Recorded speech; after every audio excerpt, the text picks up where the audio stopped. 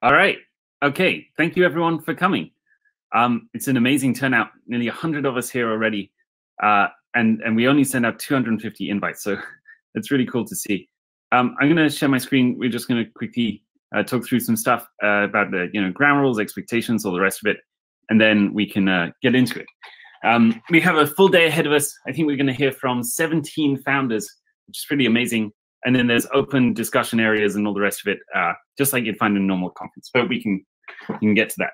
I think just before we do so, um, there's one kind of thought I'd, I'd like to leave everyone with, as for, if you will, a flavor for the day, which is that uh, ah, this uh, stop sharing things on the bottom of my screen. I'm guessing that's blocking the way. Okay. Yeah, um, the moment we find with ourselves in in society is clearly a moment of change. The pandemic and the general political upheaval of the last few years has, has left society at a moment where it appears to be pivoting. Um, this is obviously a potential danger, but also an opportunity. In this moment, it's pretty clear that we can collectively uh, start to define the, the new rules for how society should work. Um, and I think the area that we're focused on, at least in the Arweave community, is how the web should work. And this, I believe, is um, is almost our calling as a as an ecosystem to build the tools required to keep cyberspace free in the future. And I, I fundamentally believe that the people in the room around you here, um, around 100 people now, it, these are the people at the core of this mission.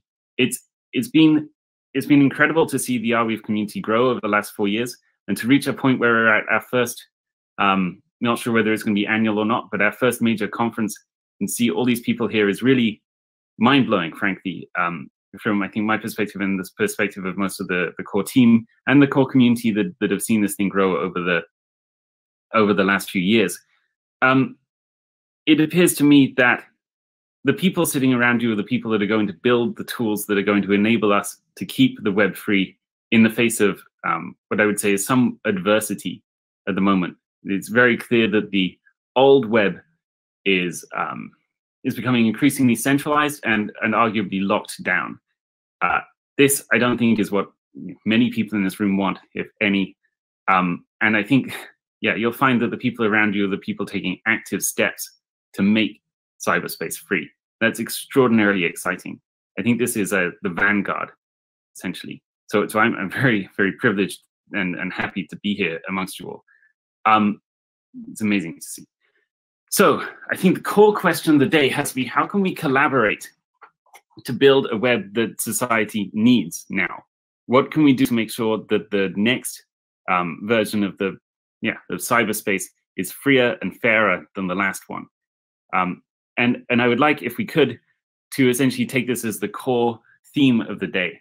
Like when we move between the different talks, there are going to be many talks. There's also an area for chit chat and coffee um, yeah, if we can keep the the conversation, if you will, on this question of how are we going to build this thing um, collaboratively, I think it'll be an amazing use of all of our time. Uh, the people here around you, well, yeah, we can set some expectations. So, what the first thing you've got to understand is this this gathering is not just random people. This is actually we only sent 250 invites um, to people selected by the founders in the ecosystem. So this is the core of the core of the Arweave community around you. Um, yeah, you won't find anyone here that is not a, a strong Arweave initiate, initiate uh, if not, um, you know, die-hard uh, type that's been around for years. So it's amazing to see the community grow. But what we wanted to focus on here was just the people that are doing this like almost every day, all the time, trying to help build this new web together. And that, I think, is going to allow us to keep the quality of the conversation extremely high, extremely focused on the big questions, which is how are we going to grow this ecosystem um, so that we can you know, essentially take on the centralized web providers and build a better web? Uh, what are the key things that we need to work on as a community um, to make things better and, and to make that possible in the long term? And, and then, yeah, what's going well and what we need to improve in, in, in the form of like ecosystem cooperation. So, so these are the key things.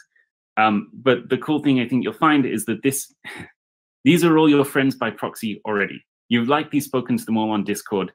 Um, it's a big family, but this is all pretty much family here, which is, is amazing. And, and that family is a surprisingly big at this point. Okay, I think the fundamental goal needs to be learning from each other and starting new collaborations. So we've all seen that the way this space works seems to be that you know people start talking to each other on Discord or or some of the other chat platforms, and they find that there's an, a thing that they're collectively interested in. You know, two or three people, um, and then suddenly they start working together, and then collectively they build something that is greater than either of them could have done singularly. More of this will lead to a stronger ecosystem, will lead to a better web, eventually. Uh, and so I think that's what we need to focus on in, in terms of like outcomes uh, for the day. And the key thing I think to understand is also that while the talks are the main event, and we're going to listen to uh, talks from I think 17 founders today, which is incredible. Um, the corridor track is also uh, uh, super important as well. So this is really just milling around outside and talking to one another. Typically, with conferences in cyberspace, you have this problem where there is one track and it is the talks and everyone attends the talks and nothing else. And uh, this stands in like stark contrast to in-person events where actually almost no one attends the talks and everything happens. All of the important stuff happens in the corridor while people are getting coffee. We're very lucky that um, i think frankly due to the pandemic uh, the the would you say? The tools are now available to have a kind of uh, it's almost like a geographical experience, like a like a 2D uh, space experience over the internet together as a as a conference. Um, this allows us to actually have areas where people just mingle and talk to one another in separate conversations away from the talks. So no one is going to be offended if you choose to do that. I think that's actually great. It's really important that everyone just gets to know each other more, hangs out. Um, I'm trying to avoid saying uh, shoot the shit, but that is what it is. Just talks about the random stuff that's happening and how we might be able to work together on um, yeah initiatives in the future. Essentially, that is the key outcome we want to gain from all of this, and I think it's what the community needs right now. Um, yes, and so that is likely going to happen just when you bump into people at random and talk, talk to them outside. So no pressure to stay in here in the main conference room. There's going to be amazing talks from all of the founders. They're going to be super exciting and, and really interesting and deeply technical. Everybody here has been briefed apart from in the, the demo day, which is uh, coming from the uh, Open Web Foundry uh, program, this is not pitching, these are not long pitches for startups. These are, you know, observations about where the space is. I tried to build this thing. This is how it went. This is what I've learned. This is what you might not want to know. And here's something I built, and you can use it in your own tools. Um, and you can do it like this and this and this. You know, this is what we're focused on in the talks. They're all going to be super helpful in that regard. Um, but also, yeah, please don't feel any pressure to stay here. Just go talk to people. That's what it's all about. Okay, last thing, obviously, have fun. Um, I think one of the most incredible things about the Arweave community and why I'm so excited to be part of it is that everyone here is so friendly. Like this is something that's sometimes a little bit hard to come by in in crypto, but but it is true it, almost everyone in the Arweave ecosystem is immensely friendly to one another. Uh, so this is just going to be a great place to hang out and you know chat to your existing friends, make new friends, all the rest of it. Um, that's it from me. Uh, I'll come back at the the end of the talk, but uh, at the end of the talks today. Um, but other than that, yeah, I'll, I'll, see you guys around. Thank you so much for coming. You guys really are the core of this thing we're building, and I'm just so honored and uh, yeah, privileged, I guess, to, to to be around you all. So thank you. I can't wait for all of the talks and all the conversations we're going to have today. Okay, let's get to it.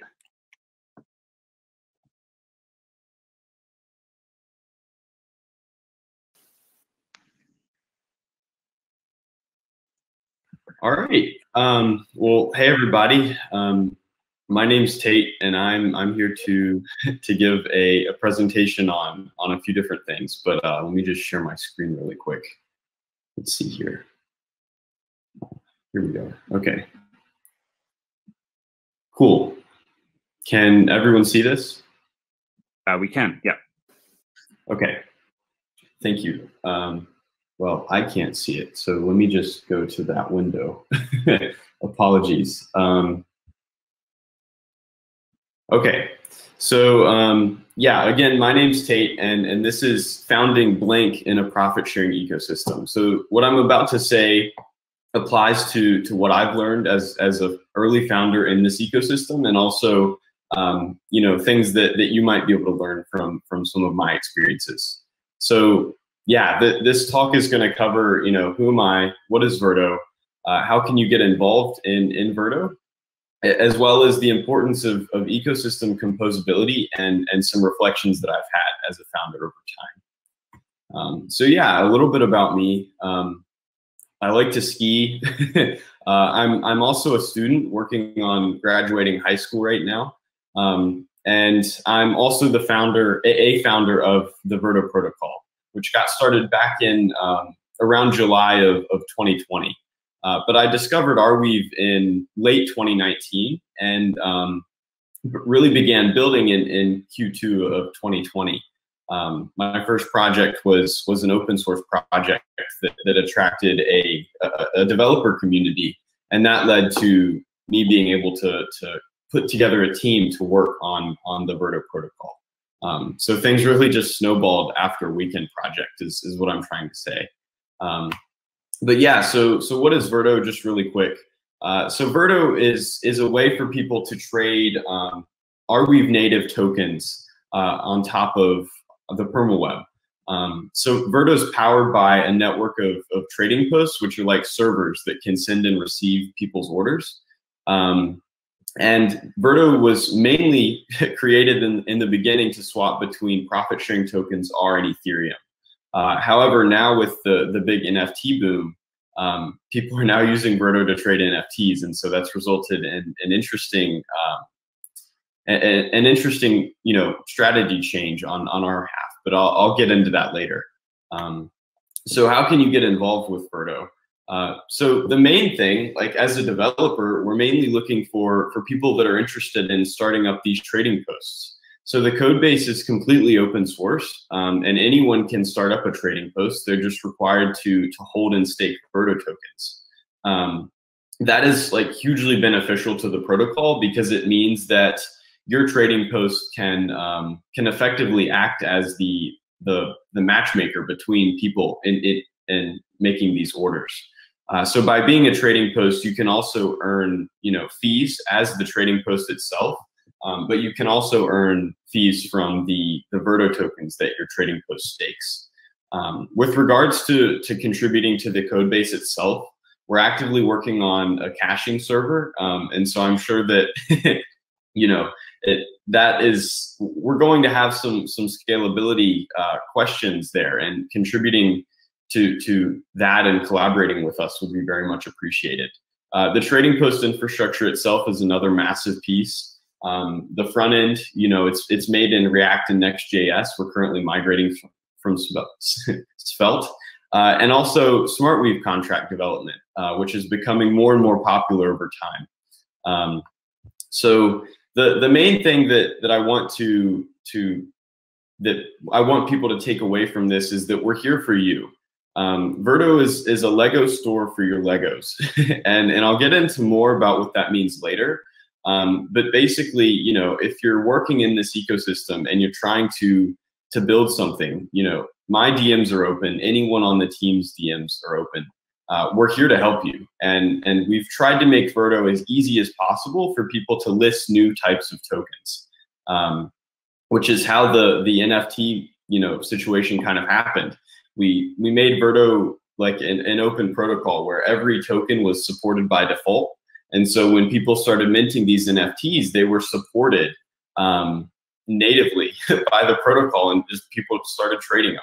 Um, and so, yeah, we're, we're really, we're here for you. Um, so one of the tools that, that our team has built to, to help you out um, is called Astatine. And basically what it allows you to do is um, distribute a set of tokens over a period of time. And you can control how many tokens you distribute. Um, you can control the curve as, as seen in that picture there. Um, and you can also control the amount of time that they're distributed over. But, but the main thing is that you can set the criteria for which these tokens are distributed, which is immensely powerful because um, you can incentivize people in your community to do pretty much anything that you want. Um, so, for example, ArDrive is a great example or use case. Um, ArDrive has has been using Astatine for quite a while now, um, and what they did, in my understanding, is basically whenever people were uploading data to ArDrive, um, they could also passively be receiving these ArDrive tokens proportional to the amount of data that they uploaded uh, any given day. And so based off of this curve here, you know, you can incentivize the early adopters to, to try out the protocol um, because they'll be able to earn the most tokens. And, and later on, you know, that curve levels out. But really, you know, it's, it's flexible for you to do whatever you want with it. Uh, ArVerify is also another great example, and they've they've been using this for a while too. So you can find that at, at github.com slash Maximus Black slash Astatine. Um, the second thing is is the Verto library. Um, and the TLDR there is you can you can add trading functionality and analytics into your applications uh, in three lines of code, which means that people no longer need to go to Verto.exchange to be able to um, you know, trade the, the asset that you're working on or assets for that matter. So NFT marketplaces, you know, if you want to add trading functionality, you can use the Verto library. Um, I, I, know of quite a few projects that are actively working on implementing this. Community XYZ has already implemented this so that when people are browsing through the different communities, um, if someone wants to buy some of the tokens straight from that discovery page, they can easily do that. Um, and we're also actively working on a, a rewrite of this library, um, which will make it much, much faster because right now the library is iterating through all of the contracts that are supported by Verto. Uh, and because of the way Arweave's, you know, uh, lazy evaluation of, of these contracts works, that can take some time. Uh, but we're working on that caching server that I mentioned earlier, which will take the load time, uh, you know, probably a hundred times down, uh, which is is going to be huge. And of course, that'll be optional as well. You'll be able to turn that off uh, if if the API goes down or something like that. But um, yeah, the Verto library is, is, there for you. And if you have any questions about integrating that, um, you can easily get in touch with us, and I'll, I'll, be able to give you some links on how to do that soon. Um, but yeah, so with regards to ecosystem composability, I, I think that this is one of the the most important things to keep in mind when developing things in this ecosystem, as as Sam was mentioning earlier. Um, so you know, as as a custodian of this protocol, um, we kind of feel that it's our responsibility to create standards for things that don't exist and always support the standards for things that do.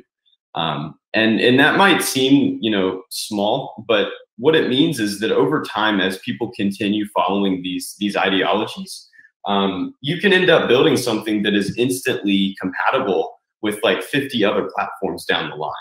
Um, and it's, you know, it's an immensely scalable and, powerful concept. And I can't stress the importance of, of why you should do that. um, it's going to be beneficial to you in the long run. It's going to be beneficial to your users in the long run. Um, and and yeah, it's it's overall it encourages collaboration between these different applications in the community uh, which is huge.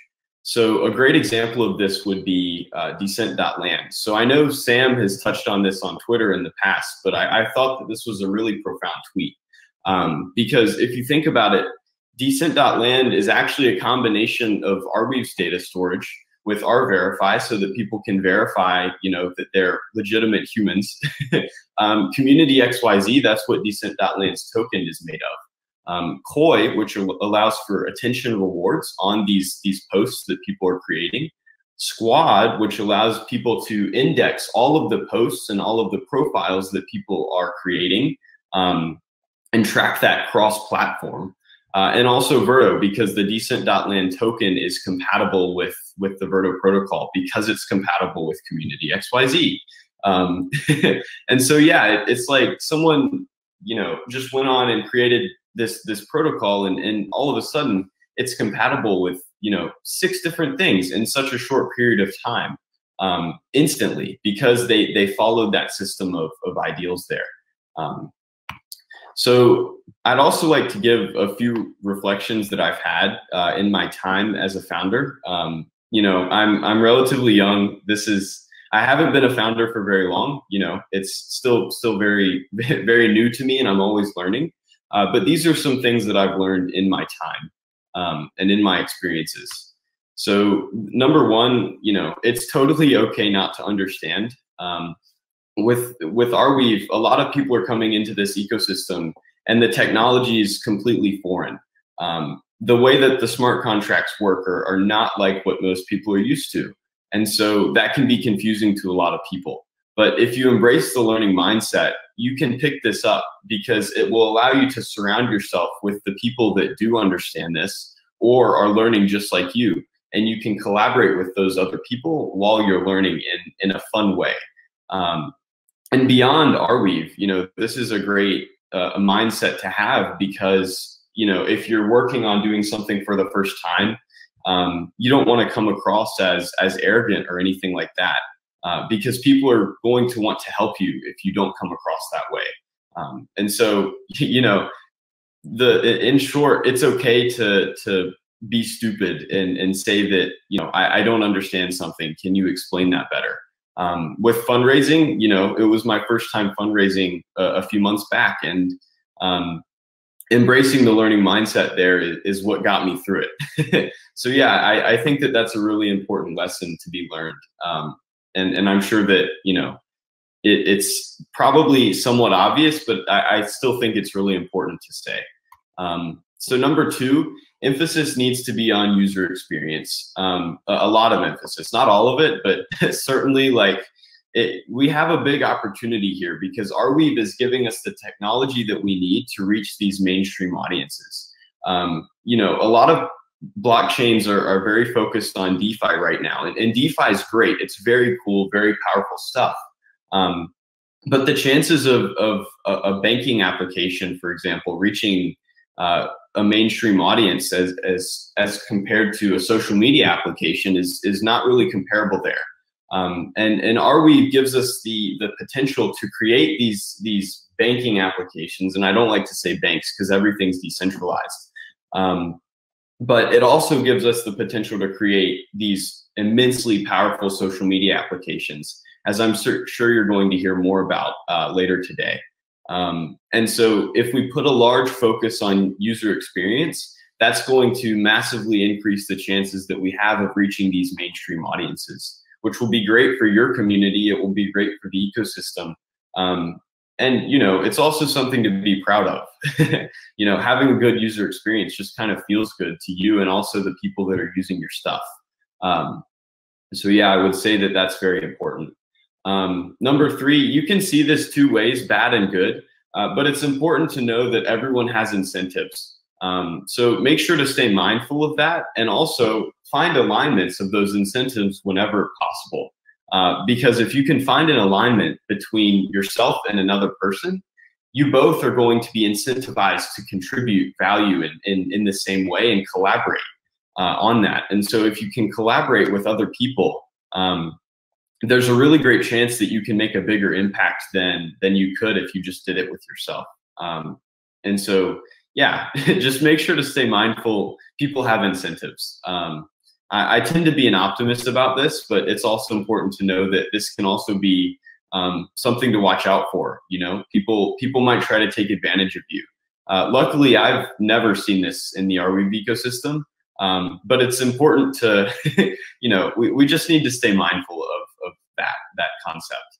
Um, so number four, this this is kind of um, you know this might not apply to everyone but but for us and in our developments it it it proved to be extremely beneficial to to develop in public.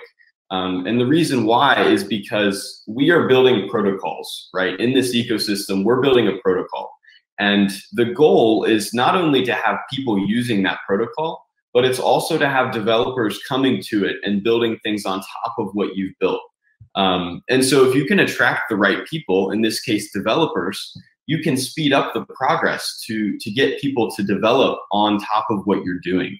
Um, so developing in public for us was enough to, to get other developers looking at the code base and what we've done. And it encouraged them to do things like start trading posts or try using the Verto library to, to build something of their own in their own application.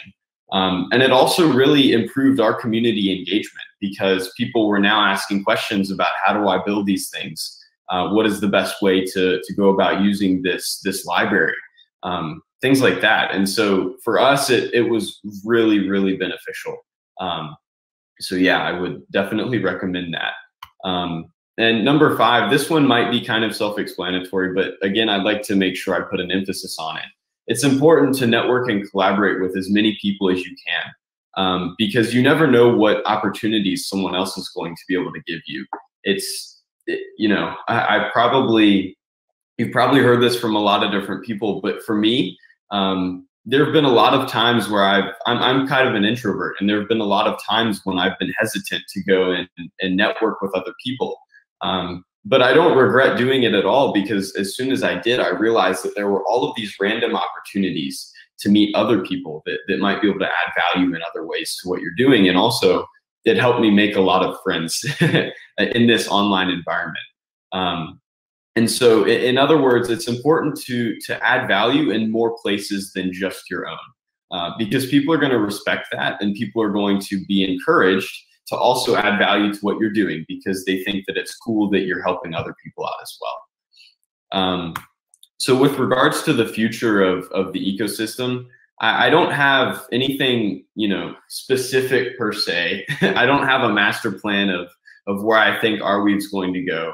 Um, but what I would say is that there's a ton of room to build all kinds of things in this emerging market. And I say it's an emerging market because, as I mentioned earlier, a lot of people are focused on DeFi right now, but Arweave gives you the capability of building really, really powerful uh, things like social media applications and things that are other other things other than DeFi for that matter. Um, I should also say that permissionless innovation um, building in these composable ecosystems will will enable unforeseen use cases down the road. Uh, because if you get the right puzzle pieces together, or, or Lego bricks for that matter, um, someone might be able to look at that thing and say, you know, if I add a Lego brick here, I might be able to build something that that has never been done before, that no one has ever thought of before.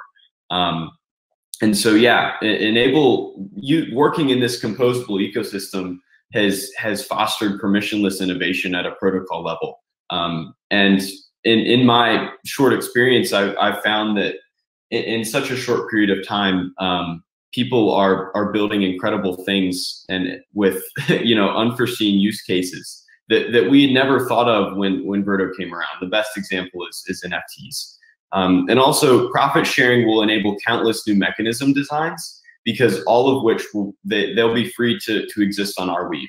Um, these the power of micro tipping is I think bigger than a lot of uh, what people might realize.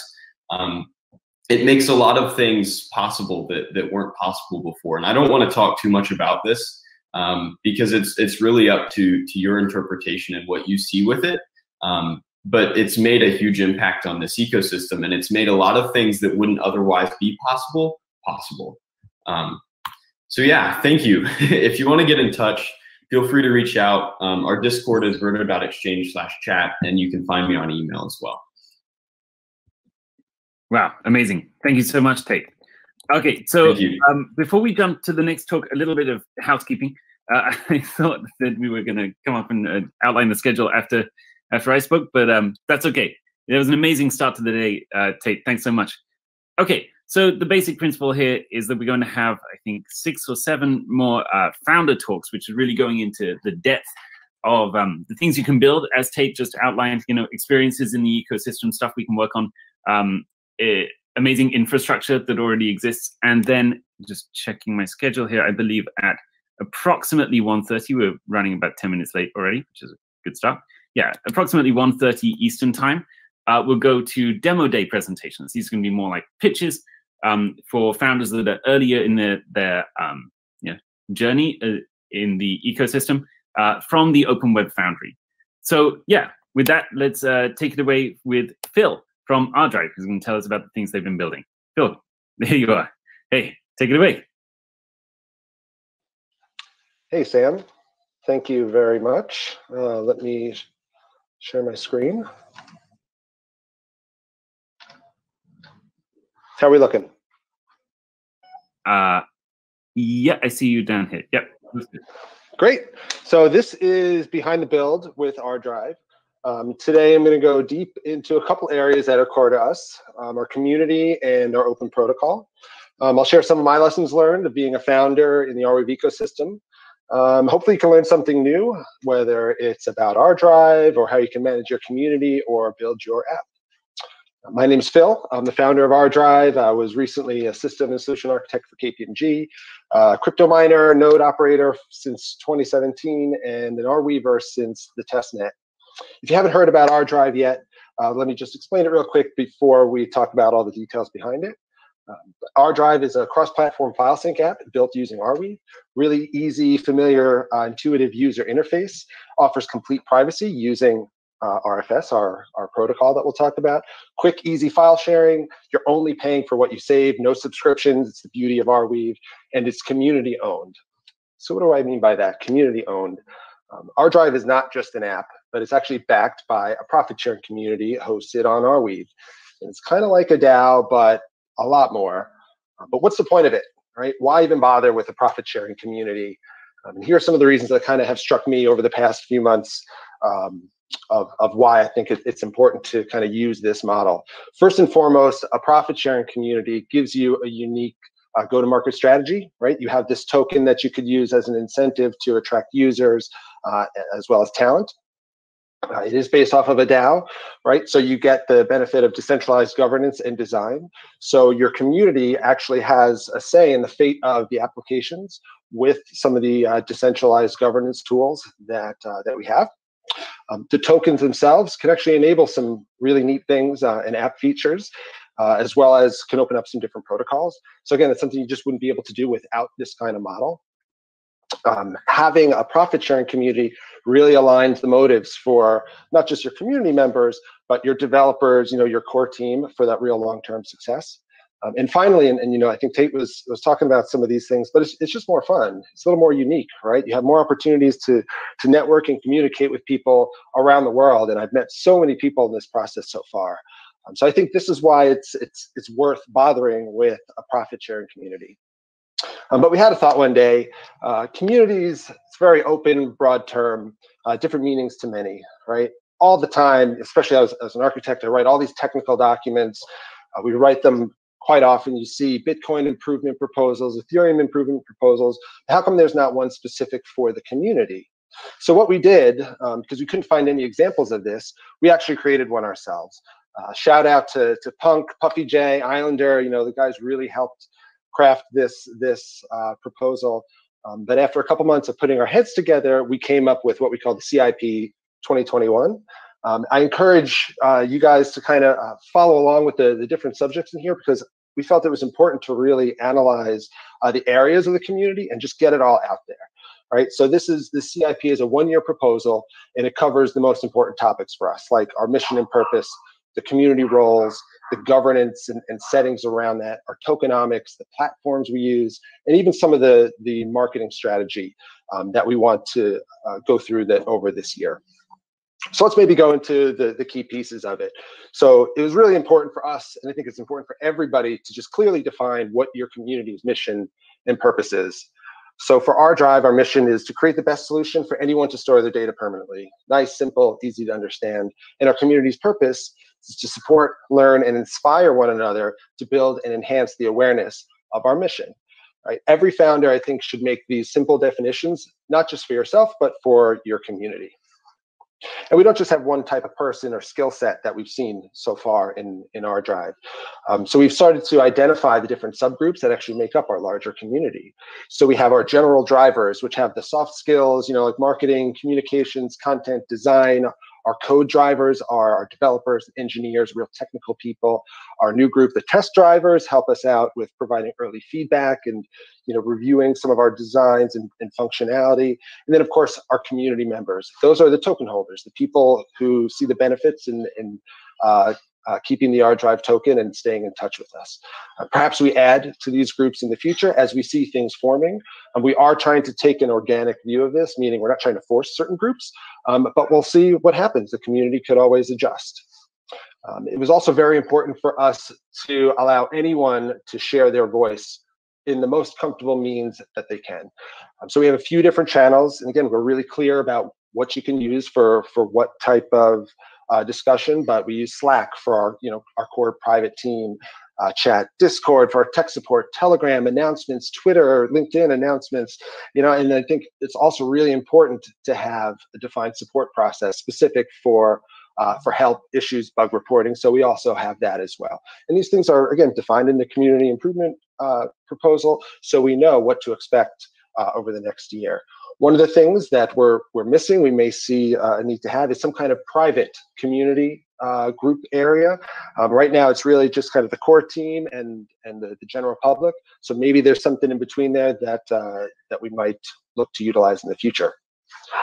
Um, we definitely have a, a, lot about our token in the community improvement plan, uh, right? That's important to how we build our community and, and how we kind of release our app. Um, but in the plan, in the proposal, we identify our token utility, right? There's two main uh, uh, two main usages that we have right now. Primarily, it's a profit sharing community, right? So all of the profit we earn through our applications are distributed to our token holders. And then you can also stake that token to participate in any of our community governance and finance. So it's, it's a staple to our, our uh, community token there. In the future, we're looking at potentially opening up other uh, uh, things with staking. So for example, if you stake your tokens, maybe you earn certain settings in ArDrive, achieve certain things, get new features, maybe you have to spend the token on certain things. So we want to be open about um, what the utility will be in the future. So maybe in the CIP 2022, we introduce a new uh, usage model. Mentioned that being a community member and staking the tokens gives you the chance to participate in our governance. Um, so we use Community XYZ to do that. What I have here is just all of the, the standard settings that any Community XYZ uh, owner gets. So these are the settings that we have. Definitely encourage everybody to think long and hard about their own DAO settings. Um, you have four types of votes you could use. Um, what we've done in ArDrive is we uh, force users to stake their tokens for a minimum of seven days, a maximum of three years. And for a vote to pass, 51% um, have to vote yes. So you have to have that 51% support level, and 15% of the whole community needs to vote. So if only 10% of the vote weight goes in, the vote won't pass, even if everyone votes yes. Um, so I think these are really important settings to, to understand and communicate out to your community members. What we also did was we defined a voting schedule, right? In the US, every four years we vote for president, right? So it makes sense to have some kind of schedule for your important DAO votes. So what we decided to do is on the first of the month, we have our major votes, and every week um, we could submit minor votes. And this is to allow people to expect when certain votes are coming. Um, we definitely want to be very forthcoming with what we're submitting for votes, and anybody can go into the DAO and submit a vote as they choose. Um, so we're just really trying to do this to, to give people a heads up and, and know when they would expect to maybe stake their tokens um, beforehand. Of course, we define our tokenomics. This has been a super uh, important thing for me to, to do as a founder, something that I never uh, necessarily knew how to do. Um, but really important in our CIP, really important for our community to understand what we're doing with the tokens, where they're going, um, how many tokens that we're creating. Uh, we have a 10 million token soft cap. Um, it's a soft cap because PSCs, uh, profit sharing communities, can always vote to have more tokens. Um, but we primarily want to use these tokens to fund our operations, build our community, and you can kind of see some of the different buckets that we plan on on on using them for. I really encourage everyone to think long and hard about some of these allocations because it's hard to, to kind of reverse some of these decisions. Part of our token model is to uh, reward our users for, for being a part of the community and, and using our apps. So we identified three key reward areas. Um, and this is really in response to some of the things we did try to do and we, we didn't have positive results. Like, for example, we tried a scheme on Twitter where you could kind of you know, tweet about ArDrive, you get some tokens and things like that. It's hard to be successful with because they could be abused really easily. So we wanted to incentivize three main things. One, referring people for ArDrive. Two, uploading quality content to ArDrive. And three, using ArDrive. Um, so unlike typical blockchain protocols that have their rewards kind of baked in, um, we have the luxury of being able to change it up over time, right? And adjust these mechanisms and adjust the amounts of tokens going out. And then finally, we ended our community improvement proposal with some of the metrics that we are going to look at to know we're successful. I think this is important for any community, business, app. You always have to know how well you're doing. Um, so these are some of the things that we're tracking, like for example, um, how many people are following us on social media, our community growth, our publications, um, our response time for getting back on user issues, problems, um, and some of the, the reports and some of the data gathering here isn't completed yet. Um, so, you know, there is a need there to, for example, understand how many replications of your file um, is on the Arweave network. So some things we actually have to work on to collect these metrics. Going through a document like the community improvement proposal definitely forces you to clarify a lot of things about your new community. Um, maybe you'll learn some things as you go through it. Maybe you'll realize you don't really have a community in the end, um, but I think it's a good exercise to do. On the flip side of all this community talk, we are working with some really um, incredible technology. So let's move on and talk about the protocol that we layer on top of Arweave to meet the needs of the ArDrive applications. So Arweave doesn't come with a native way to manage your uploaded data like a file system. So we had an opportunity to innovate a bit when we first started ArDrive. So the vision was that any application connected to the permaweb can interact with this protocol, giving users additional privacy options and share that same set of permanent data. And this could really eliminate a lot of the data silos and pockets that we see on the traditional web today. So we created this open and extendable protocol to support that vision. Uh, we call it ARFS or Arweave FS, um, and it's really an append-only transaction data model. Uh, we say it's append only because you can't delete data on Arweave. You can only add to it. Um, and what it does is it allows the state of a file system or a drive to be constructed by any client or app that uses it. And it supports things like changing file versions, renaming, moving, custom metadata. Uh, it defines a, an encryption process to support true end-to-end -end privacy. And all the data that uses ArFS can easily be queried by any application using Arweave and GraphQL. So let's get into a little bit more. Um, the data model is designed to be really flexible. Um, we use what we call entities to represent the different file system states. Each entity has a really specific schema um, with a unique UUID. Um, entity metadata is actually split across GraphQL tags and a JSON file. And the reason why we do that is because some of this metadata does get encrypted, like, for example, the folder name. We really don't want to expose anything about this, uh, about your private information. Um, and then it's also important to note that files, you know, actual file data, is separated between the data transaction and a metadata transaction. And this allows you to change the metadata about that file over time without having to re-upload the data itself. So we have three entity types now. Drives are the top level container of all of your files and folders, and they kind of act as that security boundary. And you create those with a single metadata transaction. Folders are a collection of files or subfolders, pretty self-explanatory, also uh, uh, achieved by a single metadata transaction. And then files are actually a combination of the actual file data and the metadata about the file, like its timestamp, file name, and anything else you would want to specify. And that metadata transaction points to the data transaction. I mentioned that there's a, a privacy model built into Arweave file system. Uh, we fully believe that if you don't hold the encryption keys to your data, then it's not fully private. So every file that uh, leverages the privacy option in our Arweave file system uses a, a symmetric encryption algorithm um, and takes a combination of the user's Arweave wallet, a signature from their wallet, and what we call their drive password. So maybe let's walk through the encryption process a little bit, starting on the left. So first, we get a SHA-256 signature of a unique drive ID that we create using your Arweave wallet. You see here a little ArConnect uh, logo because luckily we are able to integrate with them to support this type of wallet signature. We then take that uh, SHA-256 signature and use a hash-based uh, key derivation function to determine the drive key. And that's where we combine the drive password. We take that drive key and then we derive all the file keys using that same hash-based key derivation function and each file's unique file ID. And that's what creates our encrypted buffer. So we then tag that and upload that to the permaweb. So you can see that your keys never leave your computer and the file never leaves your, your computer um, without being encrypted. So just to walk through kind of the data model um, and building a drive, uh, you know, the drive holds all of your files and folders. It could be public, it could be private. If it is private, there's a few more tags you have to add. Um, and the data JSON for a private file is also encrypted with that same AES 256 um, process that I uh, just walked through. Um, you can follow up with us at the booth. We have links to our Arweave file system. Um, I'm not going to get into the details of each tag, um, but you can just kind of get a sense of, of how things are laid out. Um, you could also build a folder as well. Folders reference that drive ID and the parent uh, folder ID. If it's a root folder of a drive, there is no parent, so that's how you, you define that.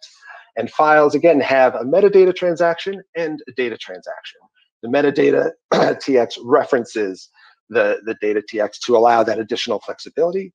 Um, you'll see that uh, both file data and file metadata have their own cipher and initialization vector. And again, this is to support uh, the privacy and the encryption of both the core file data and its metadata. It's important to point out that you can always add more GraphQL tags to this. You can also add additional tags to the, J to the data JSON as well. So if you connect all the dots and see how it all fits in, fits together, uh, this is kind of a view of a private drive. Um, folders and files reference their parents and the underlying drive via those unique IDs. Um, and you can essentially end up with a drive where different applications are adding different kinds of files from different sources. And that could be public or private data. So I think that sounds pretty cool. And I think that's a real nice way to connect some of these applications across our Web3 community. Once the files have been tagged and submitted in mind, querying for them is really, really easy. Um, and that's because Arweave now has GraphQL. Um, so the benefit of using this real strict information architecture like ArFS is that it makes it really straightforward to find your files later. Um, we have lots of code examples on GitHub you could check out. Um, but this is how you would um, create the state of a drive. You get all the drives for a user, you get their root folder, you get all the entities for that drive, and then you're just mapping the IDs to names. Um, for the private data, you pull the cipher initialization vector tag, and that's what you can then use to, to decrypt it. So again, we have lots of code examples um, you could reference to put this into your application. We're always looking to update ArFS. Uh, it's on version 11, 0.11 now. We would like to uh, soon move that to 12. We're introducing some new things like hiding files, folders, and drives, maybe introducing an NFT entity using the Arweave Atomic Standard, uh, maybe integrating with uh, the Squad social protocol, um, and a few other things. It's important to note that we're definitely looking for co-authors, right? This is not meant to be you know, we're not calling this ArDrive FS. This is Arweave FS, and we wanted it to be uh, a collaboration between everyone in the Arweave ecosystem. So if you have thoughts and ideas around how this could be extended further, we'd love to hear about it. Um, I've definitely had my own tips and, and kind of lessons learned uh, as being a founder. You know, this is my first you know entrepreneurial experience. So you know, some things may be kind of common sense to others, um, or may not be common sense to others, but these are the things that really struck me. I already mentioned it, but tokenomics can definitely be hard if you're not familiar with it. It takes a lot of time um, and planning, so make sure you you give it the time needed.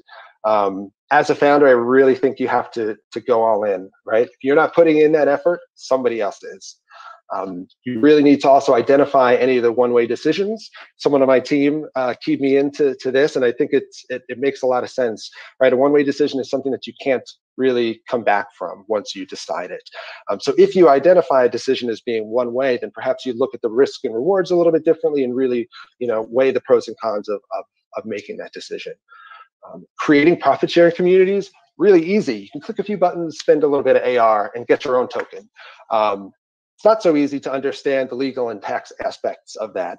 Absolutely recommend every founder to look into that um, as they're going through this process. Don't save it for the end because it does take time and uh, there's a lot to learn. Um, don't be afraid to experiment and fail. Um, we're working with really new tech, so some things might not work, um, but you got to try to see what sticks.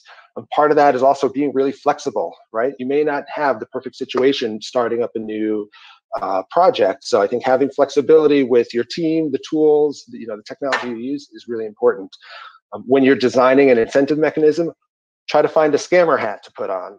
right? Because there's always going to be somebody out there trying to game your token or get as much reward for as minimal effort as possible. So really try to put yourself in their shoes and see what could happen by um, uh, by doing some kind of incentive mechanism.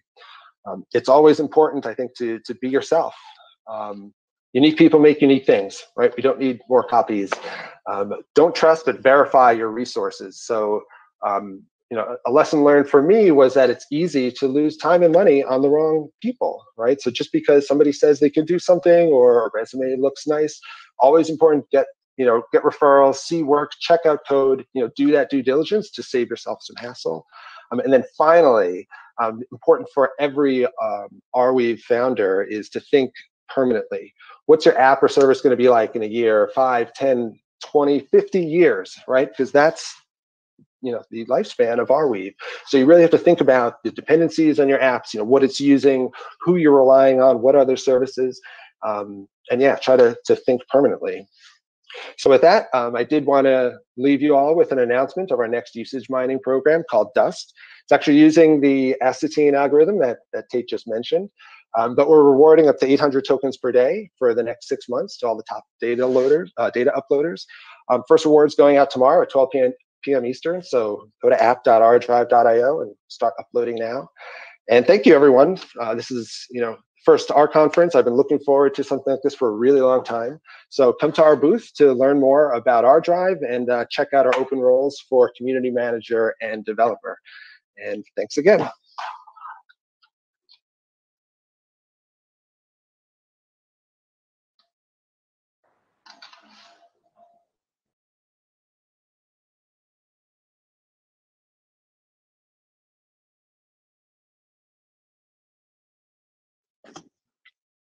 Thanks, Phil. Really, really cool, really interesting, and great learnings there. Um, and next up, we will have uh, Fabian from Kyve. And Fabian, why don't you take it away? Thanks, Seb. I'm just sharing the screen.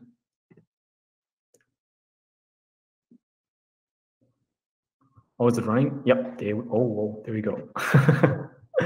all right. First of all, guys, thanks for having me. Super excited uh, to be here. I kind of dedicated my my talk today to a very uh, deep technical dive into into all the Arweave stuff. I do have some very technical um, and background and thought I give some new upcoming developers, so even developers of uh, of some Arweave apps, some some tips and tricks I learned uh, along the way, how, how they can improve their uh, yeah their their composability in in the Arweave ecosystem.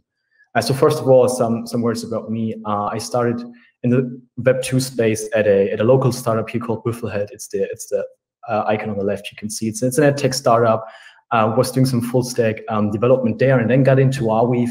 Uh, I think it was some around summer last year. Um, and with kind of the vision to build some kind of a permanent DocuSign um, solution, but then really quick noticed, all right, there's actually no, way to tell that like an address is, is trustable, is, is, verifiable, is a real human, or maybe is a scammer, right? You, just see the cryptic address and you don't really know what's going on.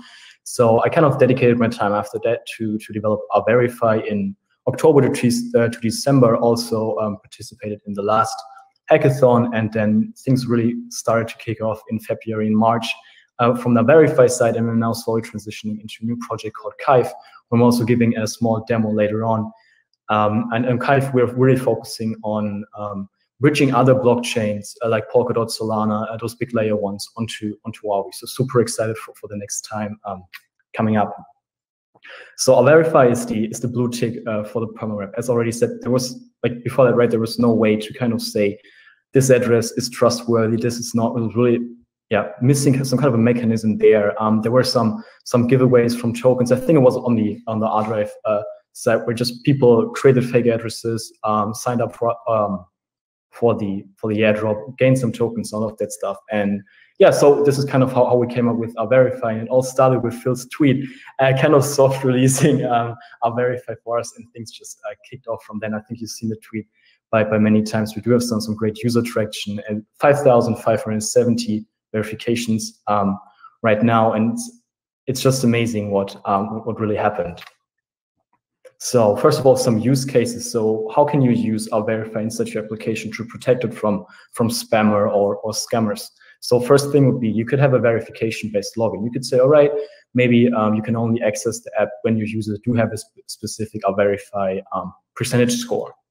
Um, and another feature could be a verification-based feature. You could say, all right, the users can see everything, but for example, doing some trades or receiving something, uh, you need to have an a verified score. And I think this was first seen um, in the Bones NFT, which was a big kickoff for, for Verify, built by, um, his Discord name is Obotion. Um, and yeah, so this was like the real big use case for Verify, where he kind of said, all right, I'm just going to give away the NFT for anyone who has a higher than a 60% um, a Verify score. Um, so how can you secure your your um, application with with a verify? It's actually super easy. It's just a single line of code. Um, basically, just get the user's address, and then you just call the get verification uh, function in our um, JavaScript library. And basically, that that's all you do, right? You can just do an if check then and say, if the user is verified, please do this and that. And you can access uh, the percentage. You can see on which transaction he got verified, if he got verified with the Google sign method, which is a new feature we, we have released. And so yeah, super easy to, to integrate for all of the developers to really, yeah, basically get the best out of your application, make sure you do have a verified user base. Um, a verify works with the so-called trust algorithm. Um, it's a modified PageRank algorithm in the, the background and based on user interaction. So we kind of thought, okay, how can we measure trustworthiness in a system? And we, we kind of said, all right, someone who interacts with another address a lot must be verified because I'm not interacting a lot with addresses, especially not sending any any ARM uh, values, right? When I don't trust him. So this is why we kind of uh, yeah, use this feature. And then we also said, all right, you can verify other people to kind of give them a head start already. Um, and it was super crazy. And once the, the Bonds NFT launched, we even had a Sybil attack. Let me just turn my laser pointer here. I hope you guys can see it, but down here, this is all the scammer network. These are all fake addresses, and you can see it's just connected with this one single address who started the, the attack. I think the attack was probably March, um, made a huge uh, huge noise in our in our algorithm. But you can see it's it's super sustainable against those big Sybil attacks to really make sure that only verified addresses um, do get a higher verified score. And you can see those big um, or highly verified addresses right down here in the center, which, for example, the community XYZ wallet or the Virtual Trading Post, right? Because a lot of different people interact with it. Um, and because so many people ask how the, the, the, trust score is actually calculated in the, in the background, um, basically it works like this. If you have a high verification score and you interact with other people or uh, you verify other people, you basically give more of your score to other people. Um, really transport this forward. And um, yeah, I think there's like a good explanation on the left side how this works. So you can see B only interacts with C, but C does have a super high PageRank or verification score in that example, just because B transposed so many over. Although like in cases, I think you can even see it here, where so many little addresses just verified a single address, but it wasn't like a huge impact um, in the score. Um, how does monetization work? So far, we have made a profit, like the whole our profit sharing community made a profit of 550R uh, within four weeks, which is just eight weeks, sorry, which is uh, crazy the, the amount of traction we get there. And 40% um, of the tip goes to the community, or even 100% if he's verified through this shareable link, which we saw in the tweet um, Phil tweeted out. Um, but if the user verifies via Google, he receives 40% uh, receives the community and 60% of the fee for verification goes to the host who operates the trading post. So this is how the community kind of can engage with hosting those trading processes, first of all, providing another layer of decentralization, um, but also, yeah, providing a, a, secure method to do some sign-in. Um, because, yeah, for this Google sign-in, you do know the you do need the verify auth nodes, and they're also super easy to use in your application. So if you want to verify users through your application, um, you can also just use the verify um, JavaScript library, just import the verify function, um, set your own return URI from your application. So this could, for example, be ArDrive. Um, and then you just, you just call the verify function. You can even set your referral address, which would be, let's say, your address, for example. So you would be um, getting some, some tips and some verify tokens as well by using our service inside your application. So yeah, the user can verify without even needing to, to leave your site. Um, if you do have any questions about ArVerify, feel free to to reach out to my Gmail or uh, join our Discord or something. And while working on ArVerify, now switching over to Kyve, um, we've been working with SmartWeave a lot. And um, in SmartWeave, we do have the, the, problem that they are all in JavaScript right now, and there wasn't a way to write um, SmartWeave in, in JavaScript. So we kind of came up with a way to write uh, SmartWeave in, in TypeScript and made it modelizable, composable. Because the, the problem is every uh, SmartWeave contract which wanted to use Verto, for example, needed to have this simple transfer function, but everyone had to copy it from another contract or get it from anywhere. So we kind of thought, okay, how can we kind of modularize it? Um, and we came up with the system um, to have those models. You can see a lock module there, which basically takes in the state interface, an action interface, and then you can do all the fancy stuff in there. And then you can just import it in your contract. Um, the library is very new. It's called SmartWeave Modules. You can find it in GitHub on uh, github.com slash smartweave slash modules. Um, and you can see you just have your normal handle functions. You would have it in your uh, SmartWeave contract. But then inside here, you do have the, um, the transfer function. And you just import the module, basically. You import from the module library. So we really work on composability and also right enhancing open source collaboration so other people can really work on this and, and make the best. And the Verto team, for example, can publish the transfer function and other people can just use it without the needing to copy pasting it or coming up with their own logic. So hopefully this will help a lot of people um, building better uh, SmartWeave contracts. Um, when, when also, if you want to compile and deploy, by the way, your uh, TypeScript written SmartWeave contracts, also check out the SmartWeave modules um, library. There is an explanation for building and, and deploying this. Um, and once you've deployed your SmartWeave contract, you of course want to test it. and before having the testing library, it was it was a pain, right? You deployed it, you, especially when doing multi interactions, you have to do multiple interactions, wait for five minutes, 10 minutes, uh, just to see an error coming up. So we kind of came up with the way to, to test your SmartWeave contracts, which is by writing a, a testing interface, um, where you basically yeah, just spin up a new instance of the SmartWeave tester. You import your handle function from your from your contract, which you're uh, exporting here. And then basically you can just execute um, execute any action against it and without needing to have it deployed to our Arweave. So we all have it locally. It's super fast and you can do unit tests around it. In our case, in Kyve, it basically looks like this. We do have some written um, tests for it. So let's say locking tokens or unlocking tokens, right? So it raises an error when a caller is registered in a pool. Then we do have this uh, function, this input where we say unlock the, for the pool ID, and then we just uh, execute the, the SmartWeave testing thing, and then we can see if any errors occurred or something, which just yeah makes SmartWeave writing and all of that stuff a lot better and a lot easier for us.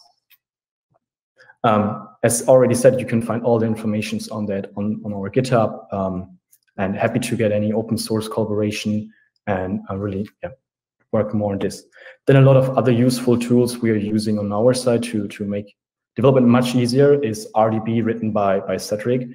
Um, ArDB really makes it it's super easy for you to interact with the Arweave GraphQL endpoint without needing to know any GraphQL code. It's really simple forward. I just 100% recommend you on checking that out. ArGQL written by, by John, um, also super easy. It requires a little more knowledge about the GraphQL endpoint, but I just say development is so much easier. Limestone, if you need to fetch any pricing data, check out Limestone. It has all of the pricing decentralized, stored on, on Arweave. And also ArConnect, I think Marton is giving a call uh, soon after soon after this um, presentation about this, and he will definitely give you some more details um, about it. Well then guys, happy hacking. Uh, hoping my tips uh, helped you a lot and you can yeah, just play around with all of the TypeScript stuff and all of this. Um, feel free to reach me out on Discord if you do have any questions or Twitter um, or GitHub. And yeah, thanks for having me. I tried to keep it short, but very developer focused. Thanks. Amazing. Thanks so much for that, Fabian. That's really cool. And and the the um, testing tools you guys have been building for SmartWeave super super valuable. So I think they'll see a lot more uh, usage in the future as well. Yeah, all of that stuff you've been building is just amazing tooling uh, for other people in the ecosystem to get on board with. So thanks again for that. Okay, so up next, if I'm not mistaken, it's uh, ArGo with Prashant. Um, interesting choice of avatar there, Prashant. Yeah. Hey, Sam. Uh, thank you. Thank you. Thank you, guys. Thank you for uh, onboarding me here. Let me just share my screen.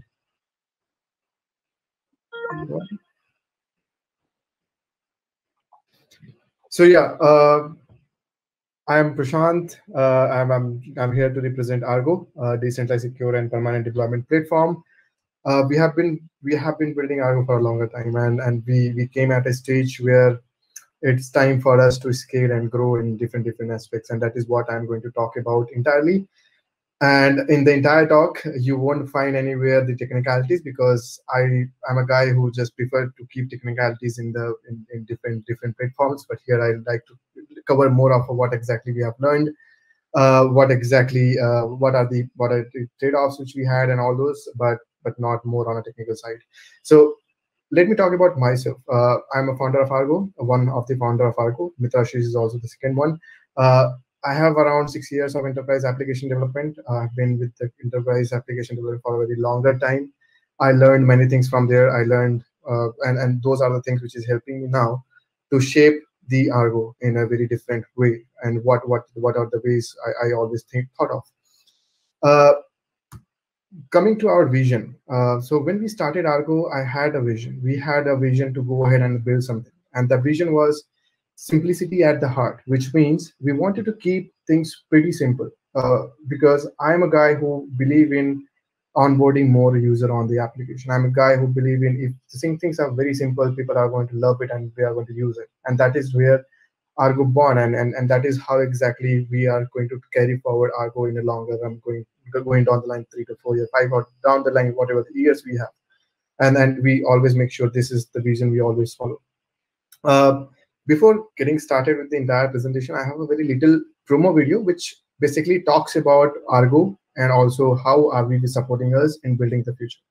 Uh, let me know if you guys see it. Thank you. Yes. Although the internet is one of humanity's greatest innovations, its full potential is capped by the control of governments, corporations, and other institutions. This contributes to a host of problems for the average user, including monthly subscription fees, deplatforming, and broken links. It's time for a decentralized web hosting solution that provides users with more privacy, better security, and lower costs across the board. Introducing ArGo. ArGo is a blockchain based serverless app deployment platform that takes your web app to a decentralized hosting service. Following a simple deployment process, developers can securely launch web apps, store and retrieve assets, host websites, and gain HTTPS on every deployment, thanks to the Arweave protocol.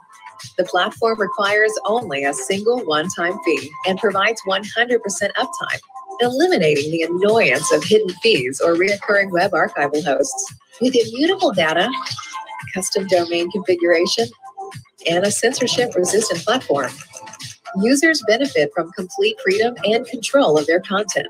ArGo is creating a decentralized solution that bridges the gap between Web 2.0 and Web 3.0 developers so users can enjoy a more transparent and intuitive experience. No more 404 errors. No more censorship. No reoccurring fees. The future of web development is here. Join ArGo today.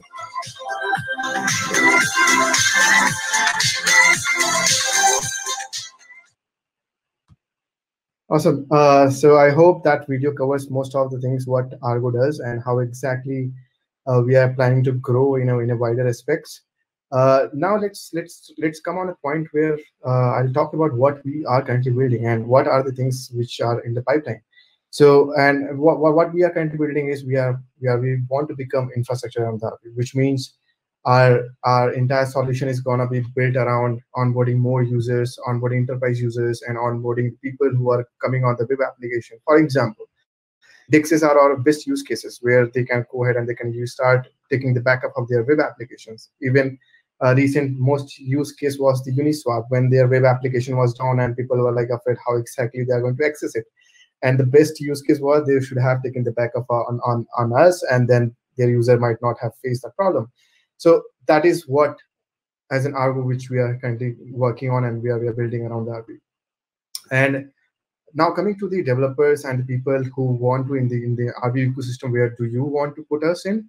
uh, and, and where do we lie in the in your development process we are we are also open for any of the collaboration and happy to help in in onboarding as well but yes coming to this part where exactly we lie in your product development lifecycle it is on the your development side. We are also working on the storage mechanism where you can start using our ArGo for storing your assets web application assets uh, in the caching mechanism and all those. And we also support a custom domain configuration. And, and recently we also launched our runtime domain name resolver service that that that you guys can start using it. Uh, coming to what new coming on the ArGo side, what are the things which we are currently working on and how exactly we are going to achieve those? Uh, the first thing which we are currently working on is the caching mechanism. We want to improve the cache. We want to improve the uh, uh, the uh, speed of the application. We we we, we did some uh, POCs. We we got successful, and most probably we're launching it soon on the caching part. Uh, now coming to decentralized deployment, deploy node, we are working on. So currently we support a deploy node from our side. It's, it's a private one, but now we are also working on to make it more of a public where any of the community member can go ahead and use the uh, deploy node for deploying the application and they can start earning ArGo tokens. Uh, now coming to this, the third one, which is very important, and I believe this is gonna attract more of a user on on Arweave ecosystem altogether, and that is called storage connectors, uh, which means you can use ArGo storage connector to connect your any of the database. It takes the snapshot, it puts pulls it down and can send it to the Arweave altogether for long-term archival. And that is going to be useful for the big enterprises who are going to store the data for, let's say, 10 years, 20 years down the line, right? So those are the people who will be targeting and who will be using all these uh, storage connectors. Coming to uh, what we have learned uh, during our journey with Arweave. So we started our journey with Arweave Fellowship, and uh, it was nine months back, I believe, October, uh, around September and and that that was the time when we started taking the lesson lessons from uh, from Sebastian. I was we were taking the lessons from Sam, and we learned a lot during down the line. And there were a couple of points which we noted down, and and we thought like I should share with you guys with you guys as well because you guys are also building applications around it, and you guys should know this. So the first thing I always emphasize is building product is easier than selling it, which means if you are a good dev, you know product, you know technology, you can come on the Arweave, you can build anything. You, literally, you can go ahead and do whatever you want to. But when it comes on selling the product, that is where your success is going to be defined. And that is what you have to start focusing on the day you launch your MVP, the day you launch your POC. And that is what I believe Sebastian and everyone might have already talked and, and, and explained mo most of the things about like how exactly you are going to go to the market and those are the points which you have to take care of very seriously and start taking taking care of if you have not started.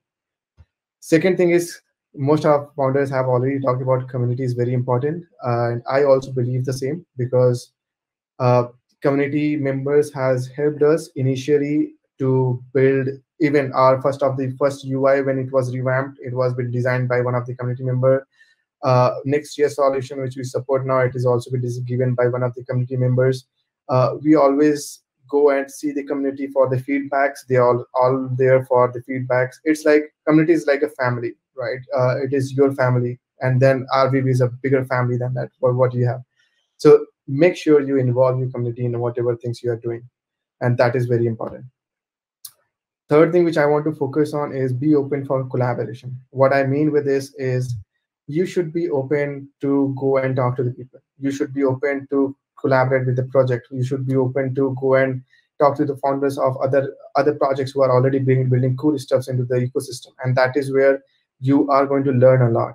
So for me, take an example. I have I have been talking with Phil. I have been talking with Ted. I have been talking most of the founders in the ecosystem space for a longer time. And and believe me, you will the moment the day you will start talking, the that that is the day when you will start learning more and more. And i have learned a lot. I have had the zero knowledge and now i have at least a knowledge where i can go and talk about Arweave, i talk about ArGo so make sure you are open for the collaboration.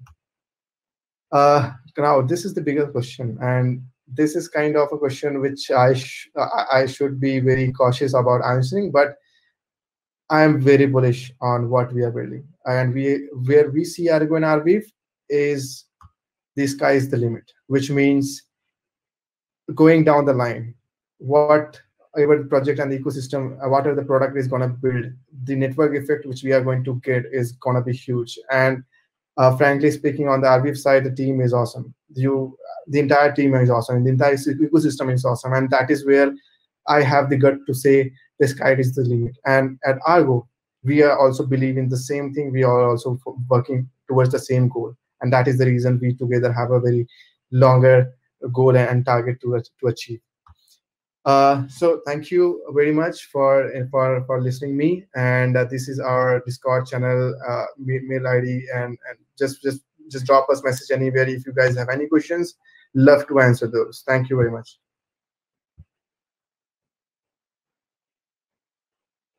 Amazing. Thanks so much. Uh, let me just check. Uh, can you see me and hear me? Yeah. Okay, good. All right. So next up is Marton with uh, ArConnect. Here we go. Thanks, Prashant. That was awesome. So, hey, Marton. Hey, um, I'm going to talk about ArConnect. Um, let me share my screen quickly.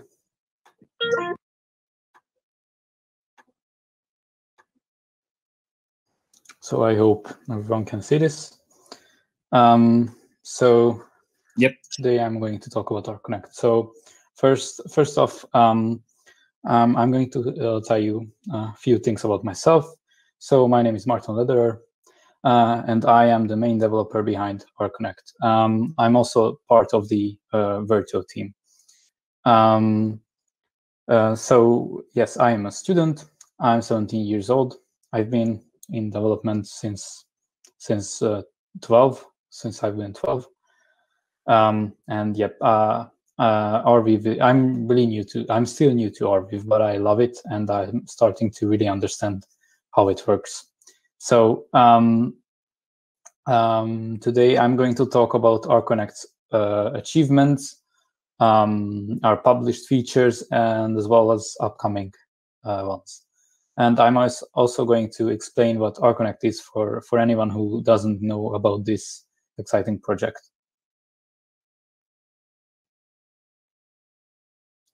Um, so I'm going to start right with the Arweave ecosystem's uh, big problem, um, the the upload your key file mechanism.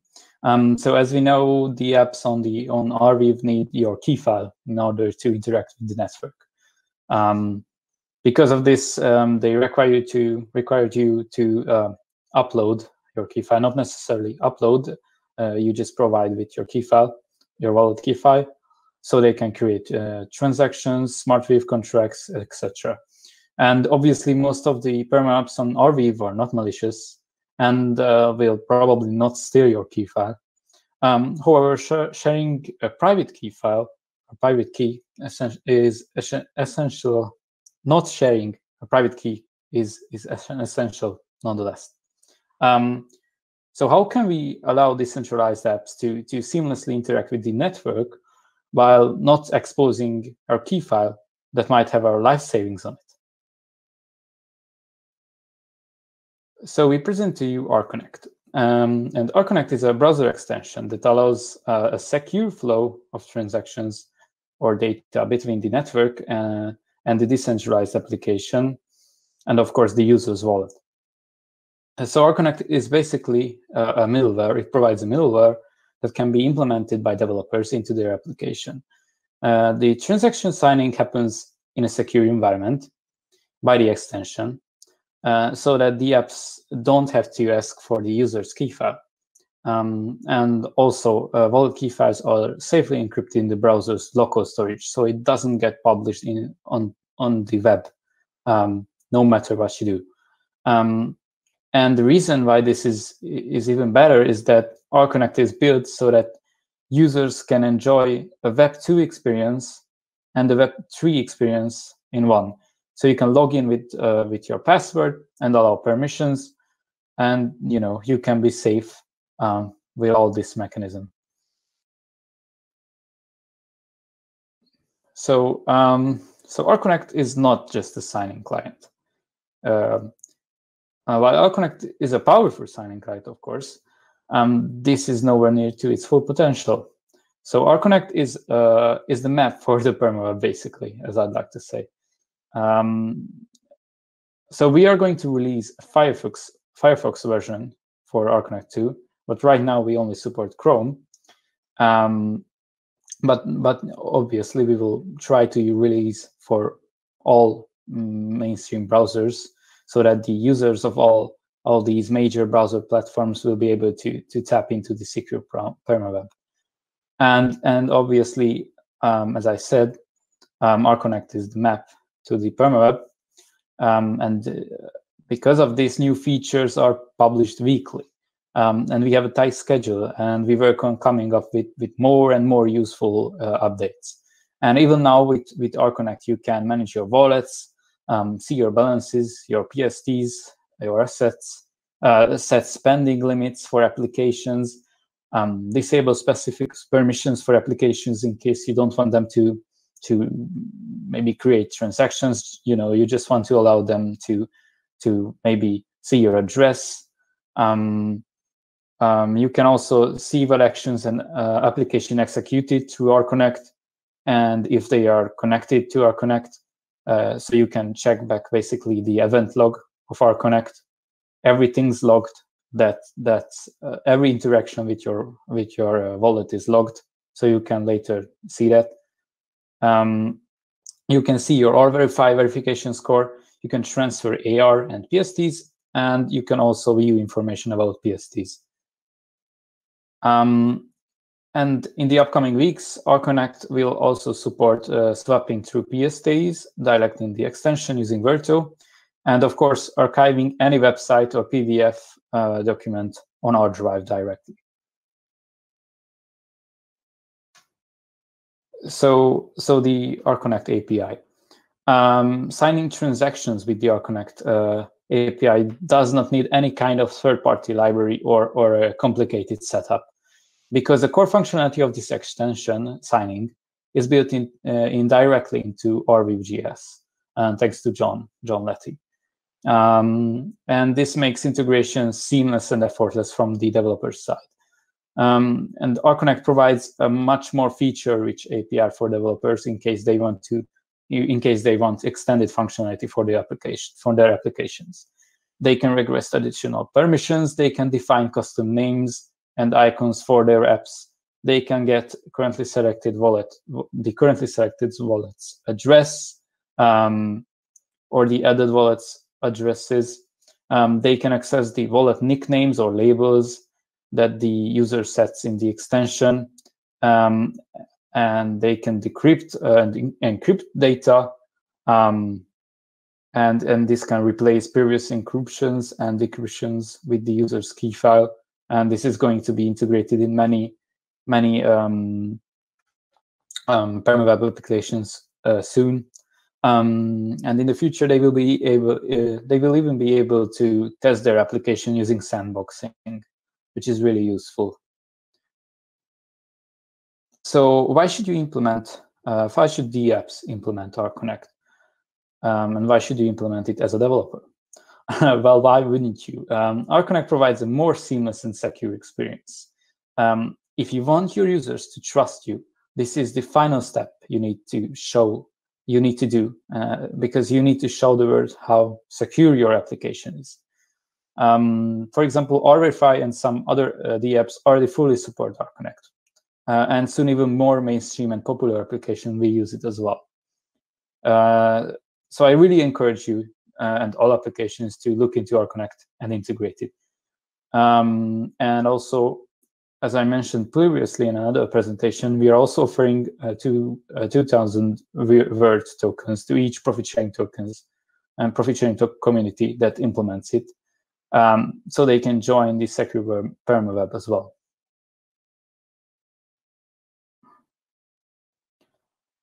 So um, if you have any ideas uh, on how sh should we continue um, our journey, if you want uh, to share something with us, or you just want a new feature to be added, um, please join our Discord or, or start contributing to ArConnect. It, it is 100% open source. Um, and I think I'm going to show you a quick demo of ArConnect. Um, I'm gonna switch my screen.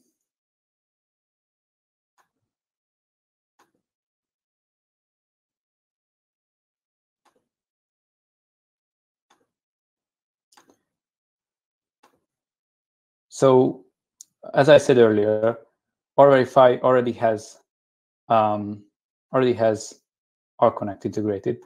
Um, so I'm just going to refresh and I'm just going to show how it works with, with their awesome service. So basically you just press connect, it will just load the authentication window. You just type your password in and you can log in You can accept the permissions, or you can, you know, disable one if you don't want to uh, allow it to the website. You accept, and here you go. You are you log you are logged in. Um, so yeah, that, that this this would be all. And thank you for your attention. Amazing. Thanks so much. Uh, that's really cool. I, I, we we were thinking for a long time about what a web extension, you know, uh, offering this kind of functionality would look like for Arweave. And the one thing we didn't want to get into was, uh, you know, how Web Web three JS is not actually that user friendly or developer friendly. Like it's it's quite hard to get get on with. And so we expected that the developer experience would unfortunately actually get worse when we had this kind of MetaMask-like capabilities for Arweave. Yet somehow the way you've built ArConnect is actually even easier than using the, you know, the um, uh, the key file management method. It's really impressive. You you literally just go along and you say, hey, create transaction and then dot sign, and it works. It's really amazing. Um, yeah. So thanks so much for your work there. I'm really Thank excited to see where it goes um, in the future. I think that basically we will eventually retire the old web extension and just install ArConnect, you know, after audits and all the rest of it. But like that's the principle. Very Amazing. um yeah, okay. So Al, I think from Koii is with us next. Um hey Al. Oh. You I'm here. on the stage and then you left. To the podium here. Right? Prashant, maybe you could uh, you could wheel yourself uh, off the stage if that's all right. You're taking one of the podium spots here. Anyway, in the meantime, Al, please take it away and tell us about Koi.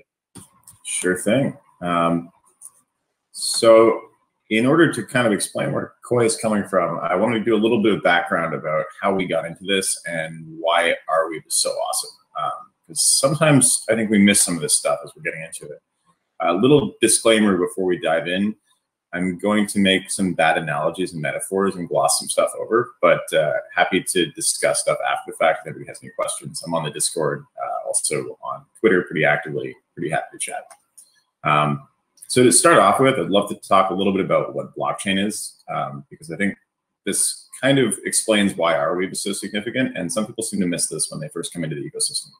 Um, with a blockchain, typically you have permanent storage and then you have consensus as to what goes into that storage. And this is really, really cool because um, this just allows you to have this giant permanent thing that people can add to. Um, and this was groundbreaking with Bitcoin, Ethereum kind of remixed that a little bit.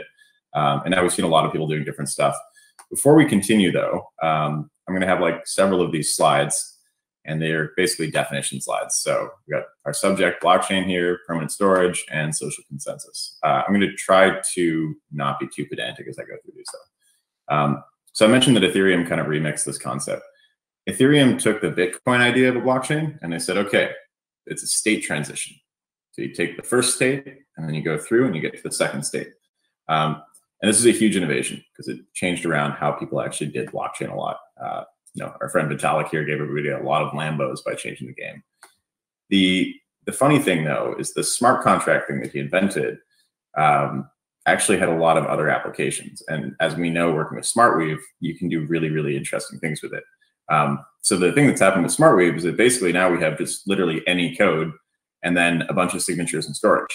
And that's pretty much a smart contract. You just have all this information, you keep storing it over and over again, and you can put it into there, uh, which is really neat. Um, and so this is also kind of how NFTs work, right? Um, and as the team at Verto have shown, there's some really amazing things that can be done with these on Arweave as well. Um, similarly with NFTs, especially on Arweave, you're storing a media file with a signature, which is uh, kind of awesome because on all the other blockchains that try to do this, they actually just they store the file somewhere else, and then they have the signature stored on another platform. Um, so what we're thinking with Koii is that there's sort of an opportunity to take the internet as we currently see it, uh, break it all up into little pieces, sign those pieces and give them ownership, and possibly put them all up into Arweave. Uh, so that's kind of what we've been thinking about with Koii. The, the funny thing about this, though, and a lot of people have been looking at this problem, is that storing things into a permanent medium can be tricky. Um, so in the slide about Ethereum, I mentioned the state transition concept. And so this is this idea of chains of blocks. And you can only add one block at a time to the chain. Um, the really cool thing about Arweave, though, is that with Arweave, you can dump pretty huge amounts of data into Arweave. And sometimes it doesn't even really need to go through the consensus process immediately. Um, so with Koii, what we're playing with is trying to um, tweak that system. And we we started out trying to do this to kind of do web scraping. Uh, then we realized we could use it for attention tracking. Um, but now we've realized that kind of Arweave could be the basis of a whole bunch of applications in the future. Uh, just an absolutely wild amount of stuff that you can do with it. And yeah, so Arweave is really awesome. Um, thanks, Sam. As a slight digression, I'm not just showing a GIF of Sam here.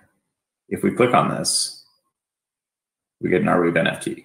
And some of you guys might already be familiar with these, but this is really neat because it's an image file, but it's also a smart contract. And so it's a smart contract with an image file inside of it. And that's just, that's incredible because that's like a new file type. That's like a new kind of like a JPEG or a PNG or something. Now we've got smart contracts that contain data. Um, and you got your signature here, right? So this is actually basically um, it's it's like a decentralized data store that controls little pieces of information, all kinds of places all over the world, and it's owned by somebody. So like right here, I think it's probably Tate or John, somebody from the Verto team, and it's owned and it's got ownership, it's got properties. We go to contract, you've got the ability to transfer this to people. Um, you you've got some functions that are built into it. You've got your state. And this means that this little payload of data now has a life of its own, and it's going to continue existing, even if the original owner stops using it or stops looking at it. Um, the really cool thing, especially with what we're doing at Koii, is that if you own one of these NFTs and other people will look at it, then we can give you Koii tokens for that because we can track that something happened to that NFT at some point. Um, the other really cool thing about this is the cost. So I don't know if you guys have looked at the Arweave price recently, but like this is pretty cheap. It's like two pennies to be able to publish an image onto the permaweb forever. Um, and so that, like, from an economics perspective, is just way, way better than anything we've been doing before. So here's a few slides. I wasn't sure if that link was going to work, so we have all these in here. Um, but this really means a lot of really cool things can be done on top of our Arweave because it's incredibly composable. And you've got these functionalities that are just built into your data set. Uh, so kind of playing with this a little bit with Koii, but generally speaking, proof of access is kind of a miracle. Um, and it's going to completely change the game for most of the blockchain applications that are out there because now we're storing the data and we don't necessarily have to always find consensus as to what the data means right away. We can do that after the fact as long as we can store all of it. Um, so here's some great images I found on Google Images about proof of access. Uh, generally speaking, this concept of recall block, which I'm sure you're all familiar with, is pretty amazing.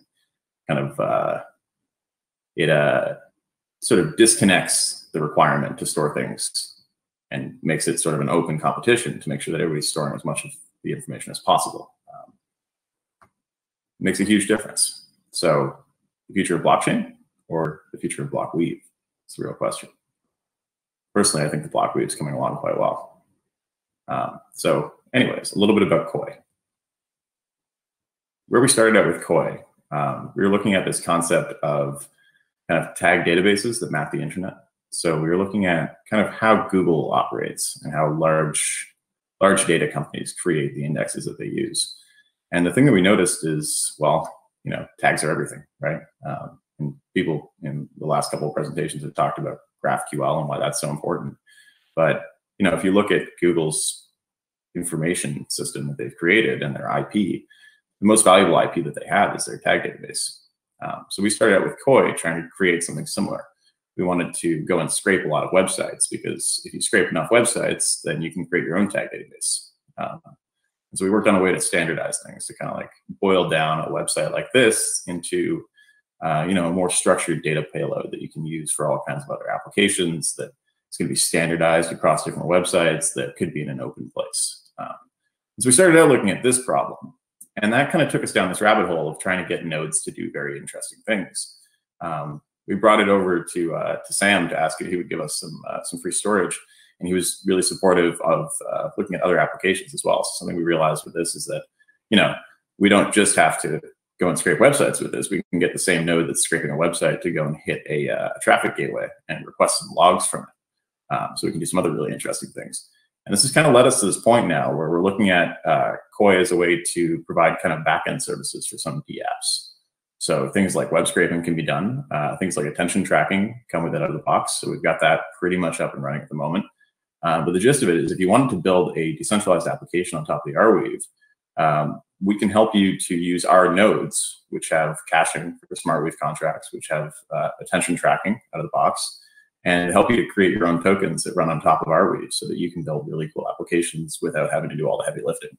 Um, similarly to what ArConnect is doing to try and make it easier for people to use uh, kind of browser extensions to use their public keys and private keys, we are also hoping that we can build a kind of framework of components so that it's really easy for you to build apps that can interact with, you know, Arweave specifically, but also just with nodes that might need to do different things, um, possibly something with Kyve, that kind of thing, uh, to make it really easy for you to build these permaweb apps. Because really the way that we see it is all of this information should be on the permaweb there's really no reason for it not to be.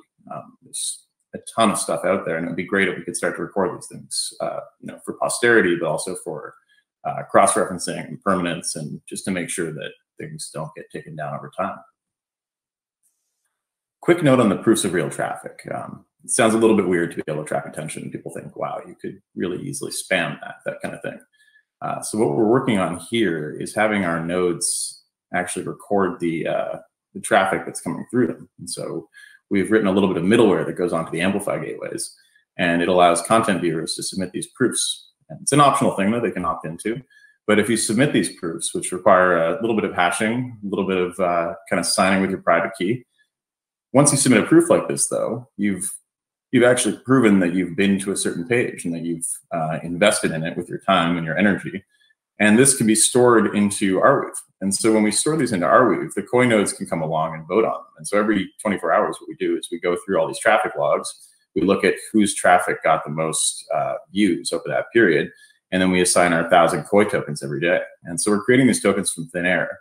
But if you want to access them, you actually have to register content to the Koii network. So it creates kind of an interesting economic cycle where people are incentivized to burn Koii tokens so they can access future Koii tokens. But in the process, we uh, we create a framework that allows us to reward the content creators themselves without necessarily having a you know an intermediary like an advertiser or something like that to actually pay them.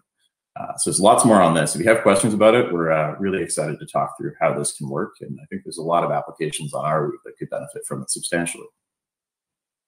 Um, to give you an idea of kind of how we see Arweave going, and by no means is this the Koii stack here. This is kind of just a generalized roadmap that we're hoping to help kind of bring into light. Um, most of Arweave will probably be involved in a very similar pursuit. So the way that we see this happening at the moment, we've been building a lot of kind of uh, client-side frameworks to make it really easy for our Koii.rocks portal to operate. But that combined with the uh, kind of web scraping and services infrastructure that we're building with Koii nodes should allow us to provide a pretty simple framework for people to use. And you know, by no means does this have to be a Koii framework. If you've got something on Arweave that is useful, like um, Phil's ArDrive, for example, would be a really great application here.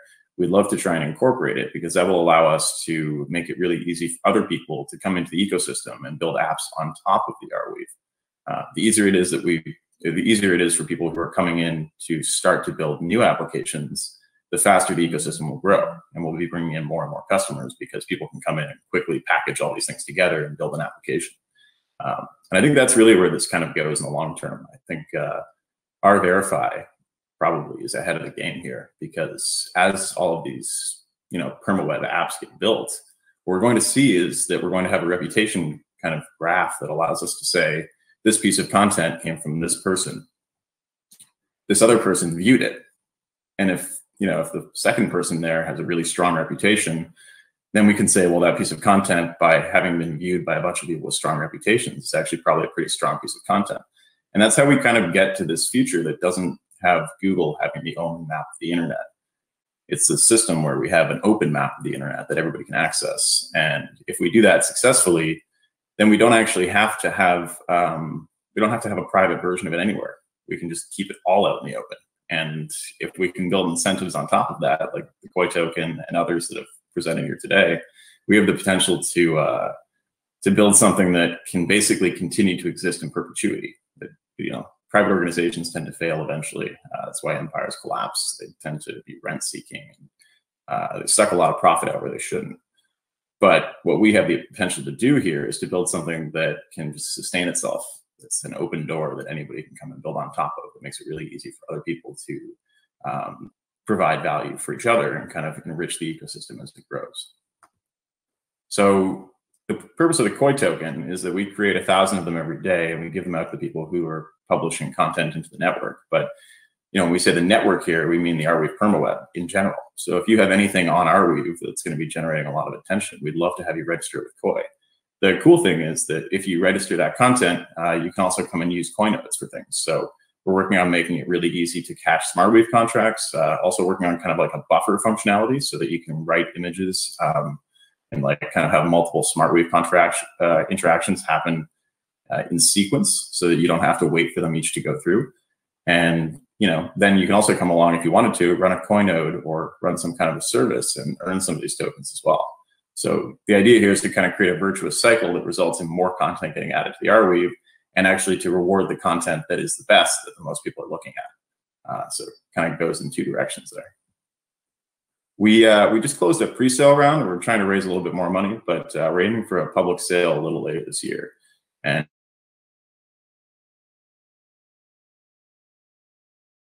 for us is use Arweave because you know we can launch a token anytime. Uh, it's not the most important part. Really, the reason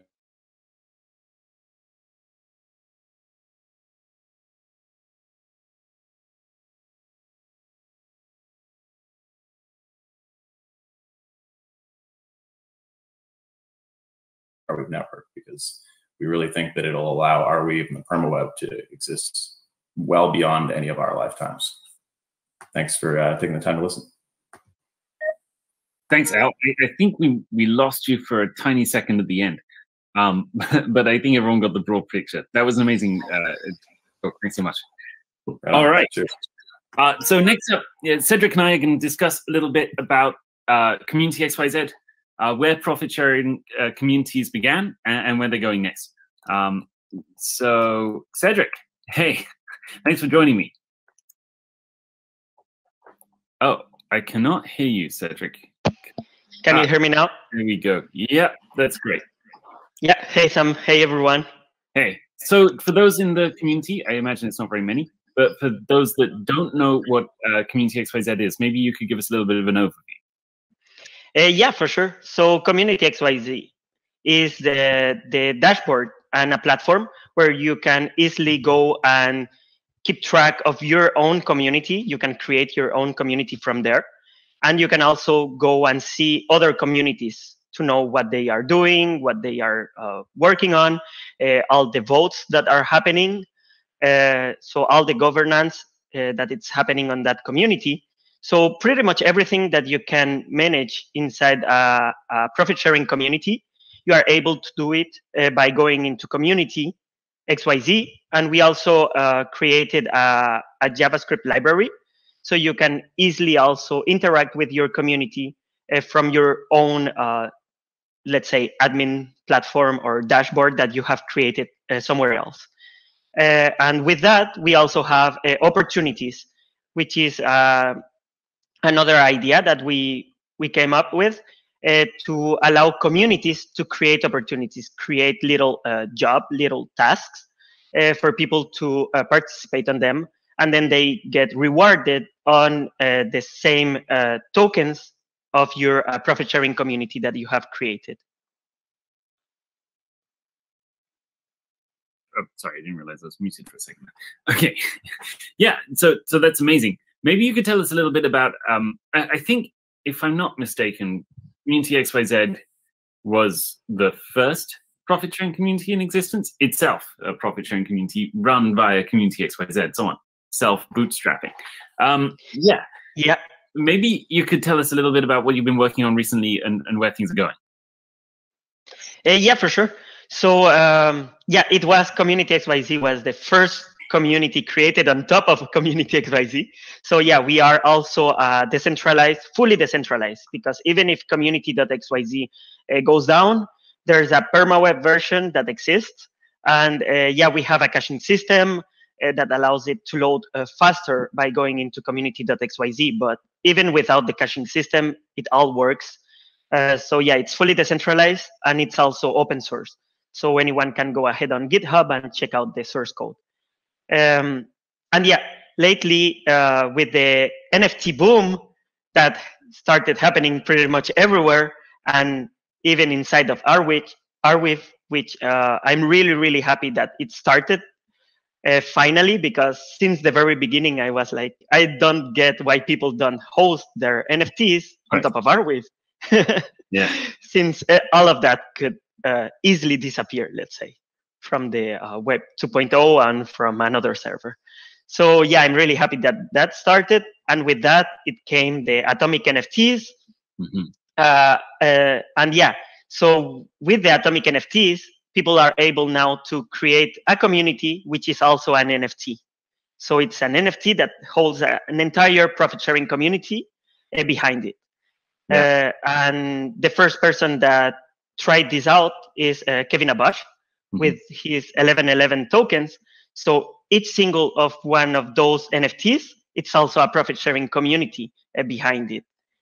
Uh, so yeah, what I'm working on mostly right now is I want to uh, allow people to easily create communities, uh, create NFTs that are a community at the same time. Hmm. So Interesting. uh, pretty much the same thing as the uh, page where you go and you create a community. Now you will be able to uh, deploy some content, let's say uh, an audio, an image, something else. And at the same time, it will be a profit sharing community behind it. Hmm. Wow. I just noticed that uh, Nicholas in the chat says that he's also working with someone um, on an NFT dApp as well, which reminds me of Evermore, who are doing this. Uh, Verto have have their own um, profit sharing token stroke NFT. Uh, I guess it's it's really a, a wrapper for the underlying Verto protocol. That one. Um, but on top of that, there's also Koii.rocks that is doing this. So it's amazing to see that there are all of these clients for NFT related um, did you say activity being built on top of the system and i think Yeah. in almost every case interoperable which is really cool to see um, Yeah, yeah. Something that people often uh, forget is that uh, what you build on top of Arweave, it's accessible by pretty much anyone else that builds a project on top of it. So yeah, if for example you have a community, you can interact with it even without using our library, our JavaScript library, Mhm. by just using the Arweave API. right So yeah, I think that uh, right now maybe uh, we aren't all aligned on the uh, the standards, let's say, Mm-hmm. for each NFT that is created. But yeah, I think we will get uh, to a point that all of these projects will interact with each other to create an NFT that works with something else at the same time. yeah. Yeah i think you're right. Like there, there's got to be a process of um what do you say? Uh, consensus like fuzzy social consensus that happens around the standards which we're already well into that. Um and yeah. sorry. Yeah and right now for example at least for me all of this is just testing things out and i'm pretty sure most of us are just think, testing pretty much all of this uh, Yeah. at the same time so it's hard to get with a standard right away mhm. but at least we get used to how it works and then we can uh, right work together in Right. finding some and, and I think the interesting thing here is all about protocol composability, which I know like I, I go on about all the time, but, Yeah. but I really think that it is the thing that will make the the perm web stand out above Web two over like the short to medium term. Is that as soon as you get a few of these applications in the space, the amount of things you can do with your other applications multiplies. And, and Yeah. that means we get this exponential growth in the number of things you can easily build on top of the permaweb because all of these protocols are open and anyone can interact with them. It's I think it's going to look basically like composability did in DeFi during the last summer. Would be my guess. Is is the explosion that's going to happen, or is kind of already happening? We're in the early stages of it. Um, it's just Yeah. going to look slightly different because this time it's about data rather than about money, or at least actually sometimes data and money, the linkage between the two, but not just money. It's just pretty interesting. Um, speaking of, I think there's there's something you didn't mention, but I think it's super cool and not many people know about in the ecosystem. Maybe you can tell us a little bit about activity logs in Community XYZ. Yeah, so activity is something that uh, we started. Uh, uh, we we released it. I think it has been maybe two months ago, something like that. So it's fairly new. Uh, but yeah, pretty much every community or even any project at all, like anything, anything at all, uh, could uh, have these activities that are then shown on top of uh, your community. For example, if you have a community, but yeah, you can uh, interact also by going into a wallet, into someone's wallet, and then you are able to see those activities that are happening. Uh, on top of a community XYZ, you are able to go to those wallets and you are able to see that. Uh, but yeah, pretty much anyone can implement it. And yeah, I when I created that idea, uh, it came by doing pretty much a standard. So it doesn't have anything related to community XYZ on the tags.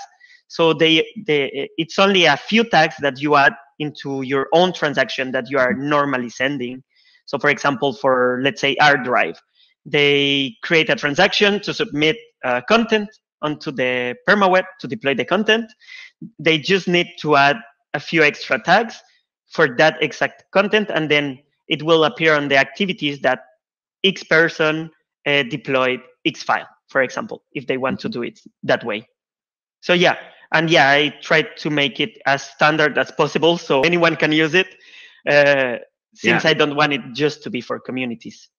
Right. I mean, that's the exciting thing. It's essentially creating a logging standard, yeah, an open logging standard that any application can just add a couple of tags, and then um, the the interactions with their application can be openly auditable by people. And that, you know, when you and I were having the first conversations about, you know, what a supporting uh, interface for profit sharing communities would look like, one of the things that was obvious was, you know, we need somewhere where people can vote. Another thing that was obvious was we also need like open uh, transparency about what is happening in the applications because this is like um, web startups, web two startups, except anyone can be a stakeholder and the community collectively owns and operates them. And so having that ability for everyone to see what's happening inside the application on a day to day or even real time basis, super, super cool. Yeah, and- and sorry, go on. Yeah, and as you mentioned, in fact, all of this it's already open. So if we go, for example, into ViewBlock, we are able to see what's happening uh, a little bit, let's say. But it's not as easy as just going and having the exact detail of what's happening. You need to go track things out and everything. So yeah, having a logging system, as you mentioned it, Mm. uh, makes a lot of sense, and it's a lot easier because yeah, even for example for DAOs on Ethereum, uh, you can go and track things on what's happening in that DAO, but it's a lot harder because you need to go and check the blockchain itself, the transactions itself. Right. Yeah, and I think what's nice about this is you've got elegant formatting in it as well for human readable um what would you say? Human readable events basically. So ViewBlock can easily integrate this and then just have an you know an applications tag if they so wanted to uh, as well as transactions. And then they just show a log of all of the interactions with the application the tx id but then a human readable print of like what was this thing that happened uh, in the app? It, it's really cool. I think um, a lot more founders will pick it up when they when Yeah. they read about it. But that Yeah. i'm guessing is going to be when when it's on the ArWiki uh, yeah so Yeah, for sure. yeah maybe you can tell us a little bit about um, uh, where you think the the profit sharing community ecosystem is going you know over the next few years. And like uh, predictions are very dangerous but if you could project out five years what would you expect to see? You know when we're at ArConf 6 or 12 whether we do it you know like uh, yearly Yeah. or, or yearly. Um yeah what do you expect we'll be thinking about and talking about then? Uh, well, I find it really, really difficult uh, to predict the future on the crypto space because everything grows and it moves so fast, so quickly. Um, but I think, for example, NFTs, it's something that uh, it's here to stay. I think it will move a little bit on what it is right now. I think it will evolve into something else, maybe, or just grow to something else. Uh, but um, yeah, I think they are here to stay. So wha- that's one of the things that I'm pretty excited to see uh, what will be uh, an NFT in five years from now, for example. Mhm. Uh, and yeah, for the communities, the profit sharing communities also, I'm pretty sure it will grow pretty fast. Like one of the things I cannot wait to see is that um, new contracts uh, start existing uh, that could interact with that community, but that has different sets of rules that are defined since the very beginning. Hmm. Uh, because right now we have one contract that works, for example, with uh, profit sharing communities, how we know it right now. But I already see many uh, different approaches that could happen into this contract and iterate it and make something else uh, on it. Uh, and yeah, I think it's really, really difficult to know what will happen uh, in five years. But one thing also I'm pretty sure, at least from my side, is that we are still at the very beginning on all of this. So I I'm really really excited to see how the entire ecosystem, not just for communities but also for the entire Arweave ecosystem, uh, will grow and what's coming next. Yeah. It's really really fun. Yeah, and, and I think you're right. Um, one of the interesting things about Community XYZ is again, it's an open protocol, or it's like an open interface, really, where you can actually plug in whatever kind of contract you want on the back end. So most people are just using the standard, um, you know, profit sharing community contract right now, but very, very possibly you can just, you know, uh, implement something new or have new dynamics. Um, and I think Exactly. Amplify, who we're going to hear from later, yeah, they, their profit sharing community has completely different dynamics baked into it. But of course, it's compatible with that user interface. It's really Exactly, yeah. As long as you have the basics of a profit sharing community, so transfer, vote, Mhm. mint, mint lock, uh, you can in fact build anything else on top of it. Uh, and it will work right from the uh, dashboard also for the basic uh, functionalities that I mentioned just now. Yeah. Yeah, amazing. That that's really cool. And you, you even see it going the other way already. So ViewBlock now has integration for votes from profit sharing communities, which originated from the Community XYZ contracts. It's very cool. Yeah. Yeah. And I think they have integrated also a little bit of the activities. Mm, Uh, you mentioned the activities. I uh, because I noticed that they have the categories. Uh, the activities have, have a category and it, ha- it has a description which explains uh, what exactly happened. Hmm. I didn't see the description, but I saw the the, the categories, for example, transfer, uh, mint, Yes. log, things like that. Yeah. Oh, I see. Yeah, I think they're they're extracting the function call name there. Uh, but Yeah. I'm sure the ViewBlock guys are around here somewhere. We could probably ask them afterwards.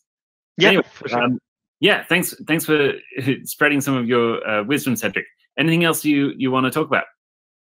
Uh, just one other thing keep building keep growing the ecosystem and yeah as tate mentioned at the beginning uh, if you have any questions if you need any help just feel free to ask uh, we are a really really uh, fun community uh, and we are always happy to help everyone so yeah just let's chat let's keep growing and keep building uh, amazing stuff on top of Arweave Amazing. Thanks so much, Cedrik.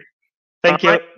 Um, yes, so maybe said, you could uh, welcome the next uh, people on on the stage. I've been concentrating, so I'm not sure who's up next. Yeah, happy to do that. Um, thank you both. thank you both for for that cool fireside chat. Next up, we have uh, Brennan. Brennan is gonna talk to us. Um, yeah, there we go. Um, and yeah, you're gonna be you're gonna be presenting a little bit. Brennan, you're also gonna be presenting later on at demo day. But for now, just take it away, man. All right, awesome. Thank you. Um, oh, one sec. All right. Uh, so yeah, I'm here to talk about uh, bringing Web3 to the Web2 community. Uh, just first off, thank you guys so much for having me. I'm really excited to be here. Um, and yeah, I just I've been really impressed with everything so far. Uh, to introduce myself, my name is Brennan Lamey. Uh, I have an engineering background, uh, you know, a little bit of computer science, but I've been you know picking that up over the past year. I'm very new to the Arweave community. You know, I'd been looking around for a couple couple months, um, sort of trying to throw together a sustainable business model. You know, looking at opportunities. Um, to give you an idea of how new I am, I am currently one week into the two week notice I gave my employer uh, so that I can come and do this full time. So I'm very new. Uh, my project is called Ecclesia, but that's not really what I'm here to talk to you guys about today. Um, I'm actually here to talk to you guys about something that I'm I'm actually probably more excited about this talk than the Ecclesia talk because I think it's a very interesting discussion. Um, so to start, we can uh, we can sort of just cover crypto adoption. Um, in the recent bull run, we've seen crypto gain wide scale, you know, commercial, fairly wide scale commercial adoption. Uh, Tesla now accepts payments in Bitcoin. Visa can now settle transactions with USDC. PayPal accepts crypto. Coinbase just recently IPO'd and is currently valued more than I believe any bank. And so what that means is that you know, different from the 2017 bull run, crypto really is here to stay because now it's it's being tied into pre-existing you know societal systems. But what that really means is that you know the top cryptos are guaranteed to stay. For all intents and purposes, we'll just call this Bitcoin and Ethereum. Uh, obviously, what everyone here is interested in is does that include Arweave? And I think a better way to uh, to visualize this would be to look at the technology adoption lifecycle. Um, so to sort of just briefly cover the technology adoption lifecycle, it starts with uh, innovators. You know, innovators they come, they build the new system, um, and you know they really uh, they love the building aspect. You know, I'd say that's a lot of people who are here. Then there are the early adopters. Early adopters still love, you know, they love the technological challenge. They love the learning curve. They know that there's problems with the technology, but they see the promise. Next, you have the early majority. You know, this is the first major uh, major population where it gains wide scale adoption. Um, you know, later you have the later majority who, you know, they're maybe not itching to get in on new technology. They'll use it if it's convenient and if they really have to. Um, but you know, in general, they they'll be coming a lot later in the life cycle. And then finally, you have the laggards, where just on a you know pound for pound basis, probably not worthwhile trying to chase down laggards. Maybe they come in, maybe they don't. Uh, the chasm is uh, something that was proposed in Geoffrey Moore's book, Crossing the Chasm, uh, I would highly recommend you guys read it because uh, I think it could do a lot to change your perspective on sort of where crypto is going, especially after this bull run, because it can't can't go up forever. Um, and so the chasm, which I'll dive into, you know, a little more later, is essentially where tech fails. You know, uh, a lot of tech startups they will reach the early adopter stage, but for them to reach early majority, there are some extra th extra things that need to take place, and he calls this the chasm to sort of put the technology adoption lifecycle into more concrete terms, uh, we can sort of look at where current cryptos are measuring up. Uh, so Bitcoin and Ethereum, you know, I would say probably just recently passed into, you know, the early majority. Uh, they're being integrated into, you know, current systems, you know, Visa, PayPal, um, Tesla, and so they're they're here to stay. Um, Next, you know, in you know the late early adopter cycle, you know, we have like Solana and Filecoin. You know, Filecoin's been getting a lot of press from the Chinese government for for good. Um, it's been it's been helping them. You know, Solana has Serum and you know a lot of uh, a lot of fairly big name projects being built on top of them, but they certainly have not crossed over into the uh, into the mainstream. Uh, they're here to stay. You know, there still is something that could go wrong with their adoption uh, I would put Arweave right in between the innovators and the early adopters. And so the main reason I do that is just looking at the demographics of the people who are, who are here today. There are a lot of people who are here who are building the Web3 ecosystem.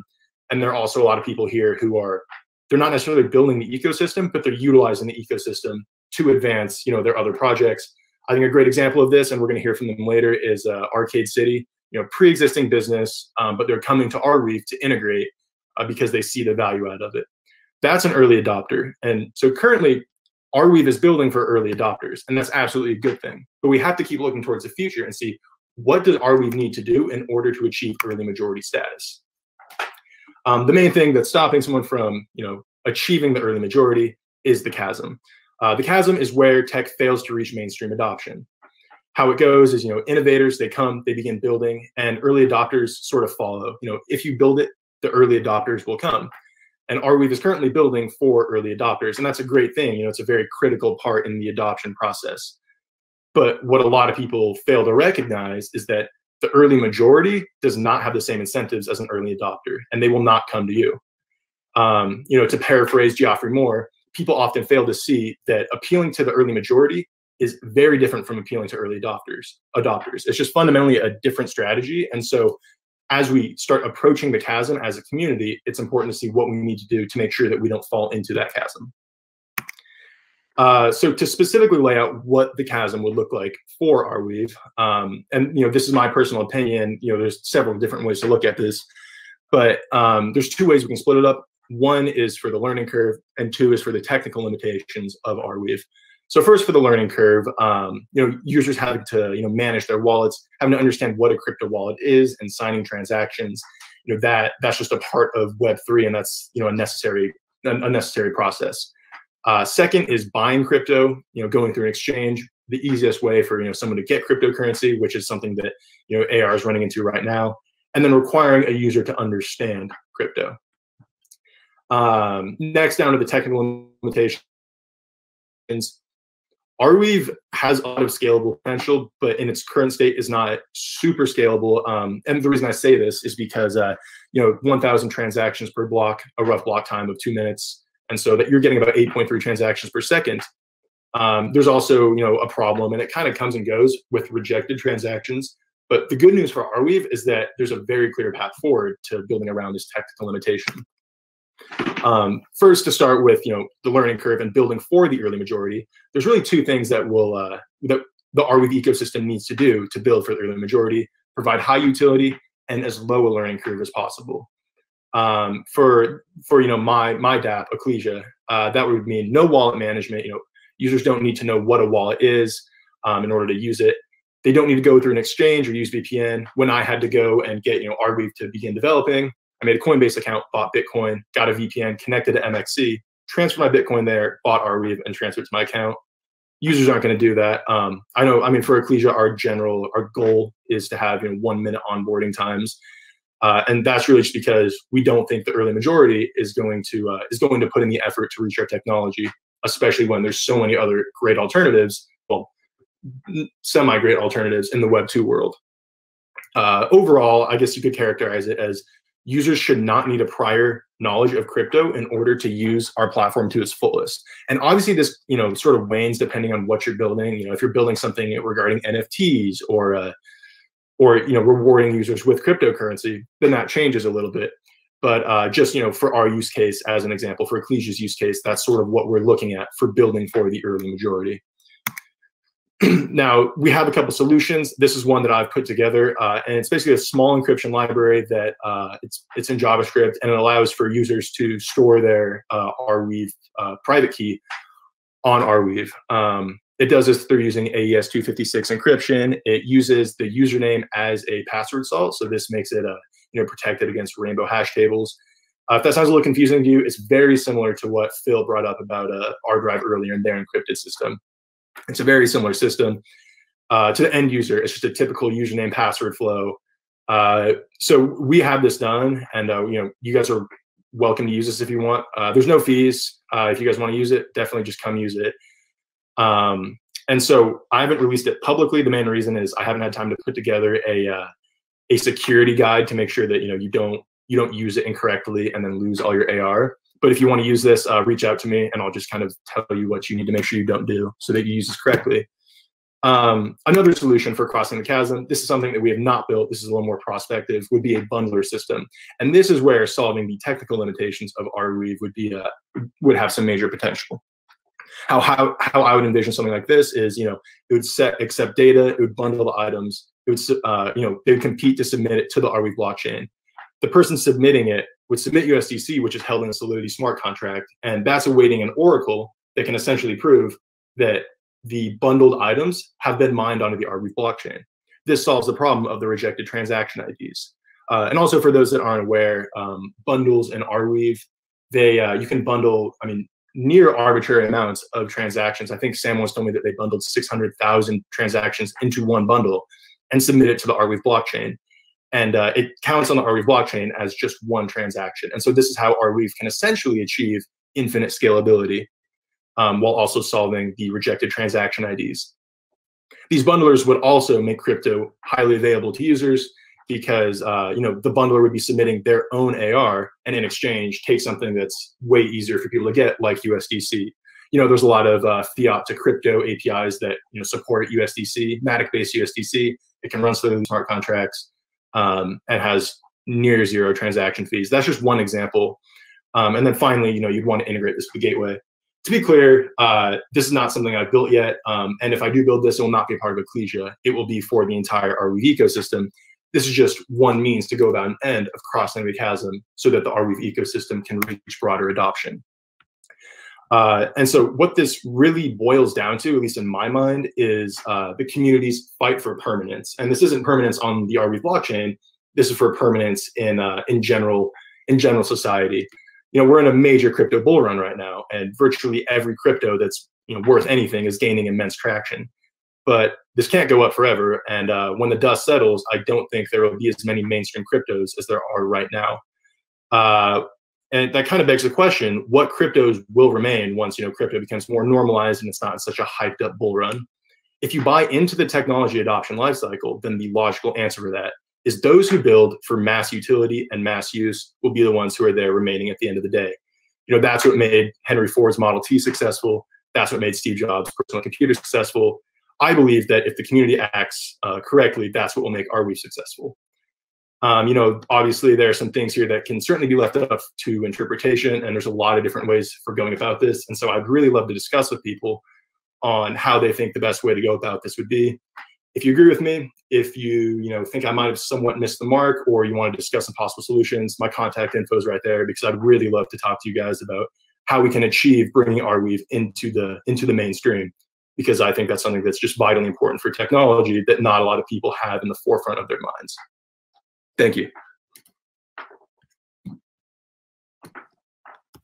Awesome. Thanks for that. Yeah, lots of interesting points there. I think you're you're you're correct on the um uh, well on the on the challenge ahead, I suppose. Uh, in terms of scalability, I think there's like two sides of this. There's there's data storage scalability, which you absolutely point out. Basically, the answer is uh, bundled TXs, and we're going to need better infrastructure for that. Um, but I, I, already know of a team in the ecosystem working on this, and I, I, think there are at least a couple of others that are uh, yeah excited to do so. Um, oh, someone's someone's ringing. Um, yeah, and on the on the financial transaction side, we I think we just go with something that's basically similar to Bitcoin and Ethereum. So the idea is not necessarily to kill banks, but to to kill central banks. Um, and I think that's a reasonable enough um, trade-off to make. But yeah, super interesting uh, um, food for thought there. Thanks so much for sharing. Yeah, thanks for having me. Yeah, and a, a lot of stuff to discuss later too, I think. Um, okay, so next up, I believe, is the lone Ronin with Amplify. Yo, Ronin, you here? Hey. How's it going? Uh, Hello? We, hey, hey, buddy. Yeah, there you go. You're on. Hey, okay, great. Yeah. So actually, I'm going to be talking not really about Amplify specifically, but uh, about really just about databases in general. Here, one sec. It's uh,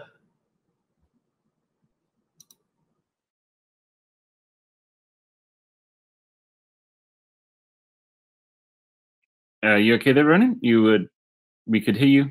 Uh, now we cannot.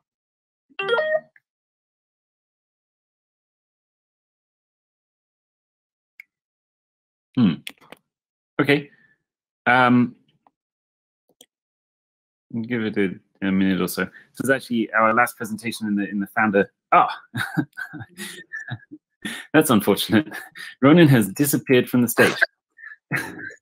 All right. Well, um, the next the next thing we should go to, I think, is the demo day talks. So these are from um, projects that have been building in the ecosystem for the first time, typically in in the last six weeks or so, and are just ready to present to the outside world, or at least our slightly larger collective family, um, than than previously. So uh, some of these projects have been. Uh, yeah, taking part in these open demo sessions we've been having every Friday as part of the incubator.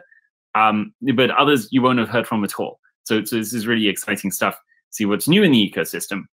Um, yeah, maybe Seb, you can you can take it away and take us through the rundown here. And if if Ronin comes back at some point, maybe he's going to teleport in on top of me. I'll move to the side. um, yeah, then then I guess we can jump back to him, or perhaps ha have his talk after the the block of uh, demo day presenters, perhaps. Sure, we we can play it a little bit by ear depending on uh, connectivity uh, issues that might present. Yeah, um, we're super excited to to present the the teams that have been going through the six, well, actually like seven week program, um, and that and that we were hosting the Open oh. Web Foundries. And there we go. There we go. Ronin's back. Might as well. Ronin, we were just about to move on, but uh, yeah, if you're there, Ronin, you can take it away. About that.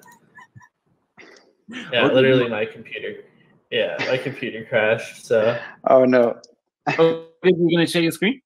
Yeah, I'm sharing. Oh, perfect. We can see. Okay. Okay, great, great. So I'm actually going to be talking about databases in general, since that's what I've been working a lot on Amplify is, is dealing with. Um, um, well, not it's not really a large database. Like the data set I'm working with is a few hundred gigabytes, but um, you know, a lot of the stuff that I'm doing is to make sure that it works well at terabyte, well, like at terabyte scale and uh, hopefully in the future maybe exabyte. But uh, you know, I, I, think that's I think that's probably going to be a sharded strategy at, the exabyte scale. Anyway, so this talk is going to be mostly about um, just like general uh, guidelines and suggestions to optimize your database and and basically just how to how to make a solid fast database. So um, yeah, you know, like I said, like big databases, they can get slow pretty fast. And um, with the incorrect data structures, you can get queries uh, even locking up with like a few gigabytes worth of rows. So, um, you know, at the end of the day, you're, you're going to need a decent around, amount of RAM, uh, like no matter what. But uh, uh, even even at terabyte scale, if you have if you have the indexing structure, if you have indexes structured in a way, uh, efficiently that is, um, you can you can still have fast queries even with like 16 or, or 32 gigabytes of RAM. Uh, and another thing is is having subqueries uh, is also a great way to you know really reduce uh, lock times on on on your database in general. So um, I think I think something that does, I think something that is pretty frequently discussed in in just database databases in general is database normalization, and there's basically these there's like first normal form, second normal form, and and so all the way to sixth normal form, and uh, yeah, basically first normal form is when every column is just in one table. So it's like, it's extremely unstructured. And then sixth normal form is just the complete opposite, where every column is its own table essentially, and it's indexed uh, in its own table. So, you know, first normal form, you're, you're going to have probably a smaller database in general. But, and, and, and obviously sixth normal form is going to tend to be a lot larger given the amount of uh, indexing per column but um, you can still have like a performant database even with second or third normal form. Um, but this is mostly because like uh, MongoDB, Postgres, and MySQL, these these databases provide um, useful indexing tools uh, to actually basically kind of replicate that six normal form efficiency that that it has. Like essentially, when you put an index on say your your MySQL or Postgres database, you're technically creating this six normal form, uh, six normal form kind of uh, uh, secondary column. It's just not explicitly shown in your database structure, and it's just shown as like an index for that table. So um, a large reason why six normal form in comparison to first normal form scales so well is because it leverages like integers for sorting and ordering data. And and you know, I think a really good way to to like a good analogy to understand why uh, six normal form is so much better is just looking at the amount of bytes required to store a string in comparison to an unsigned integer. For that same one byte, you can store 30,000 values in an integer, whereas for a string, you can only store one character. So I think, you know, just that representation alone kind of alludes to um, why why six normal form is so powerful, just given how efficient and how much smaller, you know, well per index that per index that you have to deal with, uh, as opposed to say, you know, indexing um, you know, a, a relatively large uh, text file, for example. So when it comes to indexing strategies, uh, there th- there's really there's a lot there's a few things you got to keep in mind. Like um, when it comes to like big big O notation and stuff,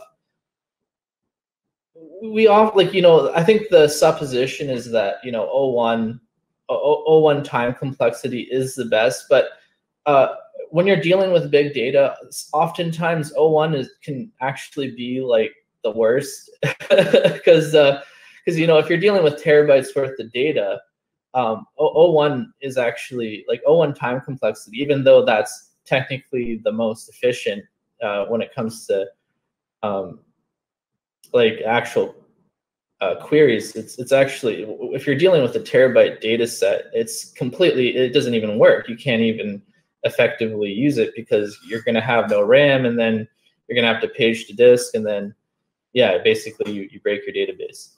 So I think a really good analogy uh, to use is is uh, of, of why uh, of, of why like you don't you have to consider like other things other than time complexity is just the difference between like binary trees and, and hash tables. So like in Postgres, there's the B tree and the hash indexing strategy.